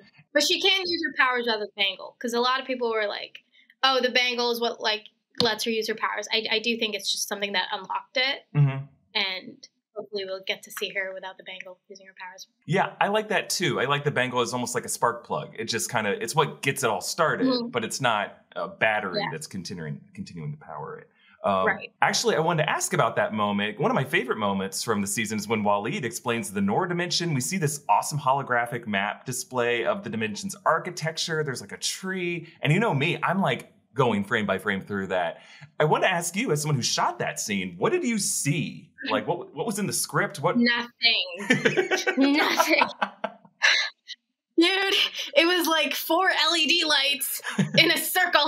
and they're like, this thing's happening. And we're like, where do we look? They're just like in the middle, but not like down, but like kind of up, but not too high, just like in the general middle. And there's like a map. And there because a lot of this, the times we don't always have previses to like see what it looks like for for scenes where it's like not fight scenes. And so it was just using your imagination be like oh yeah this is what the Noor dimension looks like. Mhm. okay. Cool. Yeah it's it's weird. It's it's mostly just led lights. Even kamala's powers the way we film it is like i'm standing on plexiglass Mhm. and we shine purple light underneath it. I love it. And and anytime I, I hear answers like this, I'm it just blows my mind that you as actors are able to make this look so believable. Like you are reacting to it in the moment. It just feels like I don't know. Like I took some acting classes in college, but I don't think I could ever believably go on a green screen set and be like, this is actually something I'm holding or looking at. I honestly, it wasn't that hard. If you ask the right questions, especially with the powers, because this is such a new power set and something we haven't seen in the MCU yet, and so it's stressful because everything we establish now is going to be canon for the rest of the MCU, mm-hmm.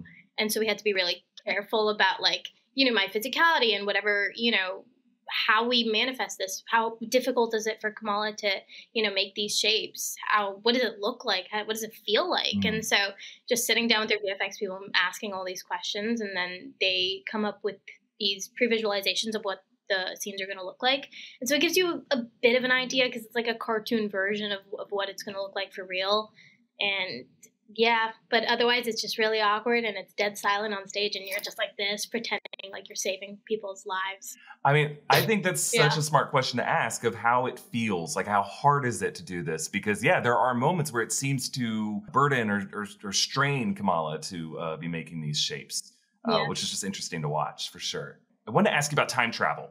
Uh, major twist in the series. Kamala goes back in time to the 40s during the partition to cast a Mhm. trail of stars, and that is the historical trail of stars that saved her own grandmother. Um, and you know the the Yeah. time travel eggheads here call this like a causal loop or predestination. But did you have questions for how the logic of this time travel fits in with what we saw in Avengers Endgame or in Loki? Yep. First thing I asked, I'm like, doesn't this break all the rules? And they're like, we'll figure that out.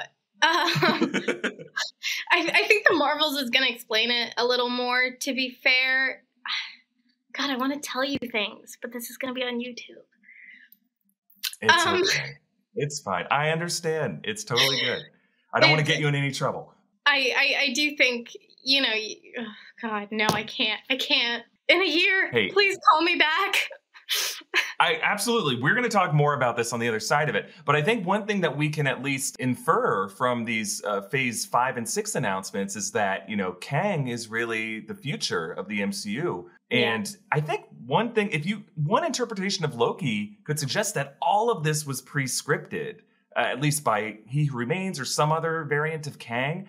And I Mhm. just wanted to ask, like, do you think it's possible and this is just nerd speculation you know if, if you can't speculate on it without mm, in bringing in what you already know do you think kang or he remains might have planned specifically for kamala to go back in time Yeah. Okay, so the inscription on the bangle used to be what is destined for you will come for you. We did change it after that, but I mm. like to use that as a way of, you know, justifying how Kamala goes back in time and, and why that was meant to happen because there were so many questions and we really wanted to bring partition in the story and, and just I know it's it's cramming a lot in, in episodes four and five, but you know, we didn't know if we were going to have season two, and we had to put all our cards on the table and just like show everything about this culture and, and, and you know, the history of it. And so that line, "What is destined for you will come for you," that used to be on the bangle is kind of a good sense of you know this was meant to happen, predestination, even if it kind of hurts the end game time travel rules, but so does old Steve Rogers.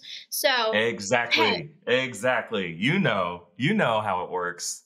So yeah, Kevin Feige is the king of this universe. That's how I like to. yeah, I think so too. I think at some point we need an Easter egg where Kevin Feige can just be revealed as the one above all, or one of the Kang variants, or something like that.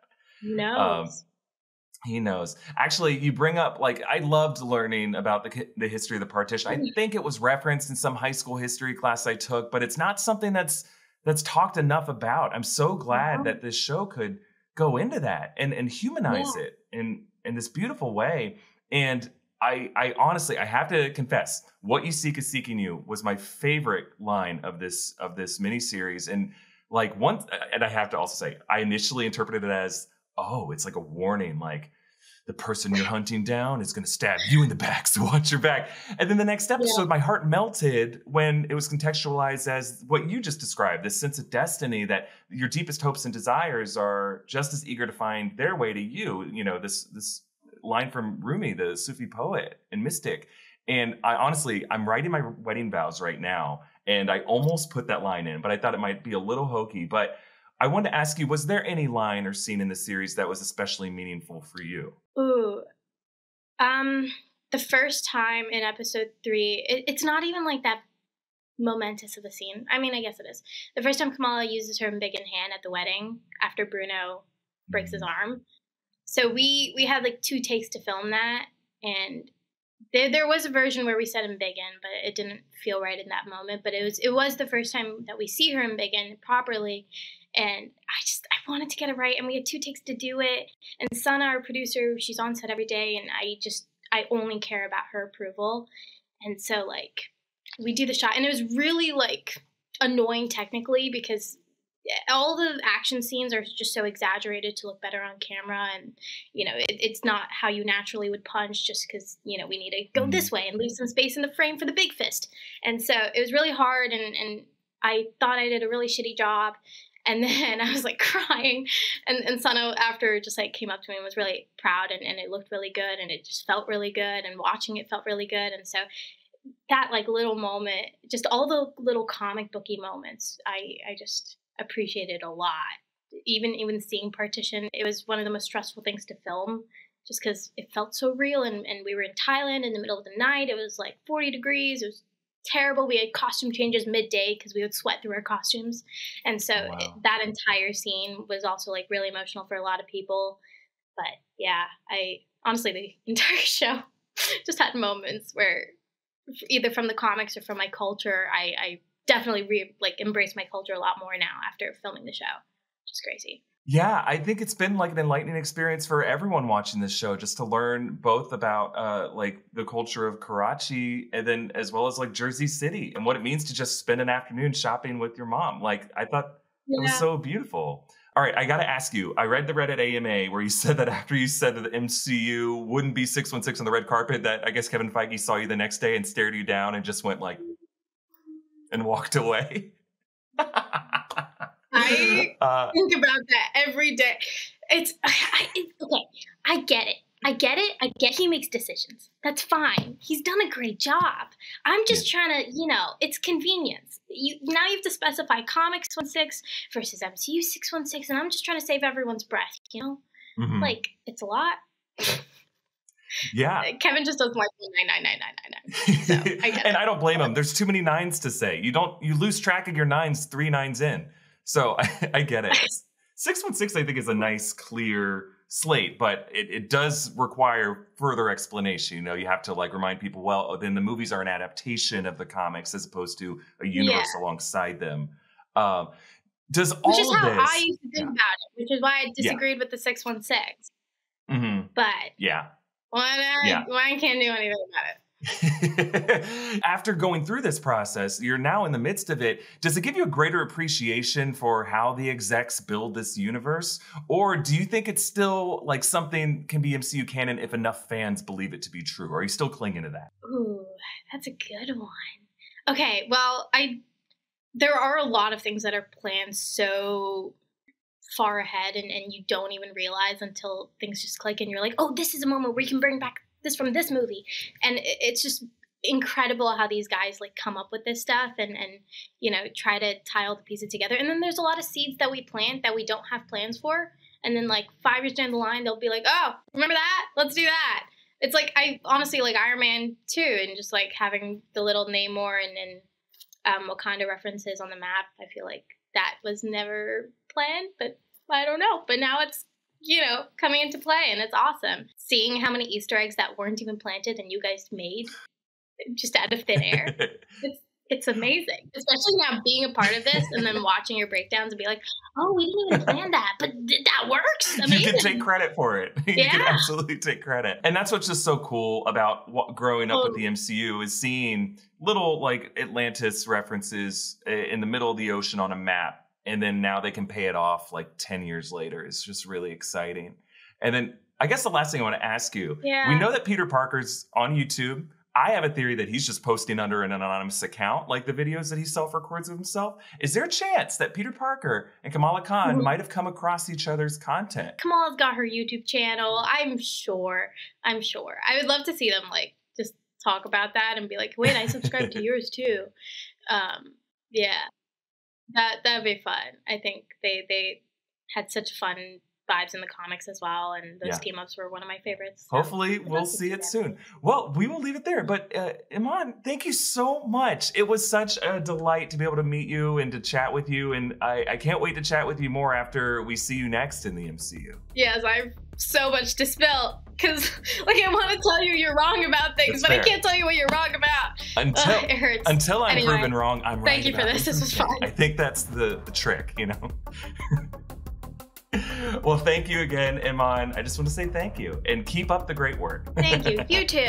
Get some sleep. Okay, back to present day Voss with a 2023 update. Marvel Studios has actually updated the Statue of Liberty since this series dropped to make it now bronze colored to better fit with the continuity of Spider Man No Way Home. And in the Marvels film, the statue is bronze colored. After reading MCU, The Reign of Marvel Studios, the amazing 2023 book written by Joanna Robinson, Dave Gonzalez, and Gavin Edwards, it's fascinating to learn that Kamala Khan was always intended to be a mutant in the comics and was only made an inhuman in the comics to appease the Marvel CEO Ike Perlmutter, who told the company to hold back on mutants and the Fantastic Four so characters wouldn't be as popular for the Fox movies who had the film rights at the time, and they were a rival studio at the time, but now Disney has reacquired all those rights. So, by Marvel Studios retconning Kamala Khan as a mutant, baptized with Ron Wasserman's X-Men theme from the Fox series, that's just a very important indicator of Marvel's plans for Kamala going forward. And be sure to watch my early 2023 video diving deep into the actual history of 616 versus 199999, especially in the context of Spider-Man Across the Spider-Verse, because both sides of that debate are misinformed, and I explain why. Support New Rockstars with this Flerken shirt at nerdriot.shop. Subscribe to all three channels in the New Rockstars network. Follow me at EA Voss. Thanks for watching. I'll see you next time. Bye.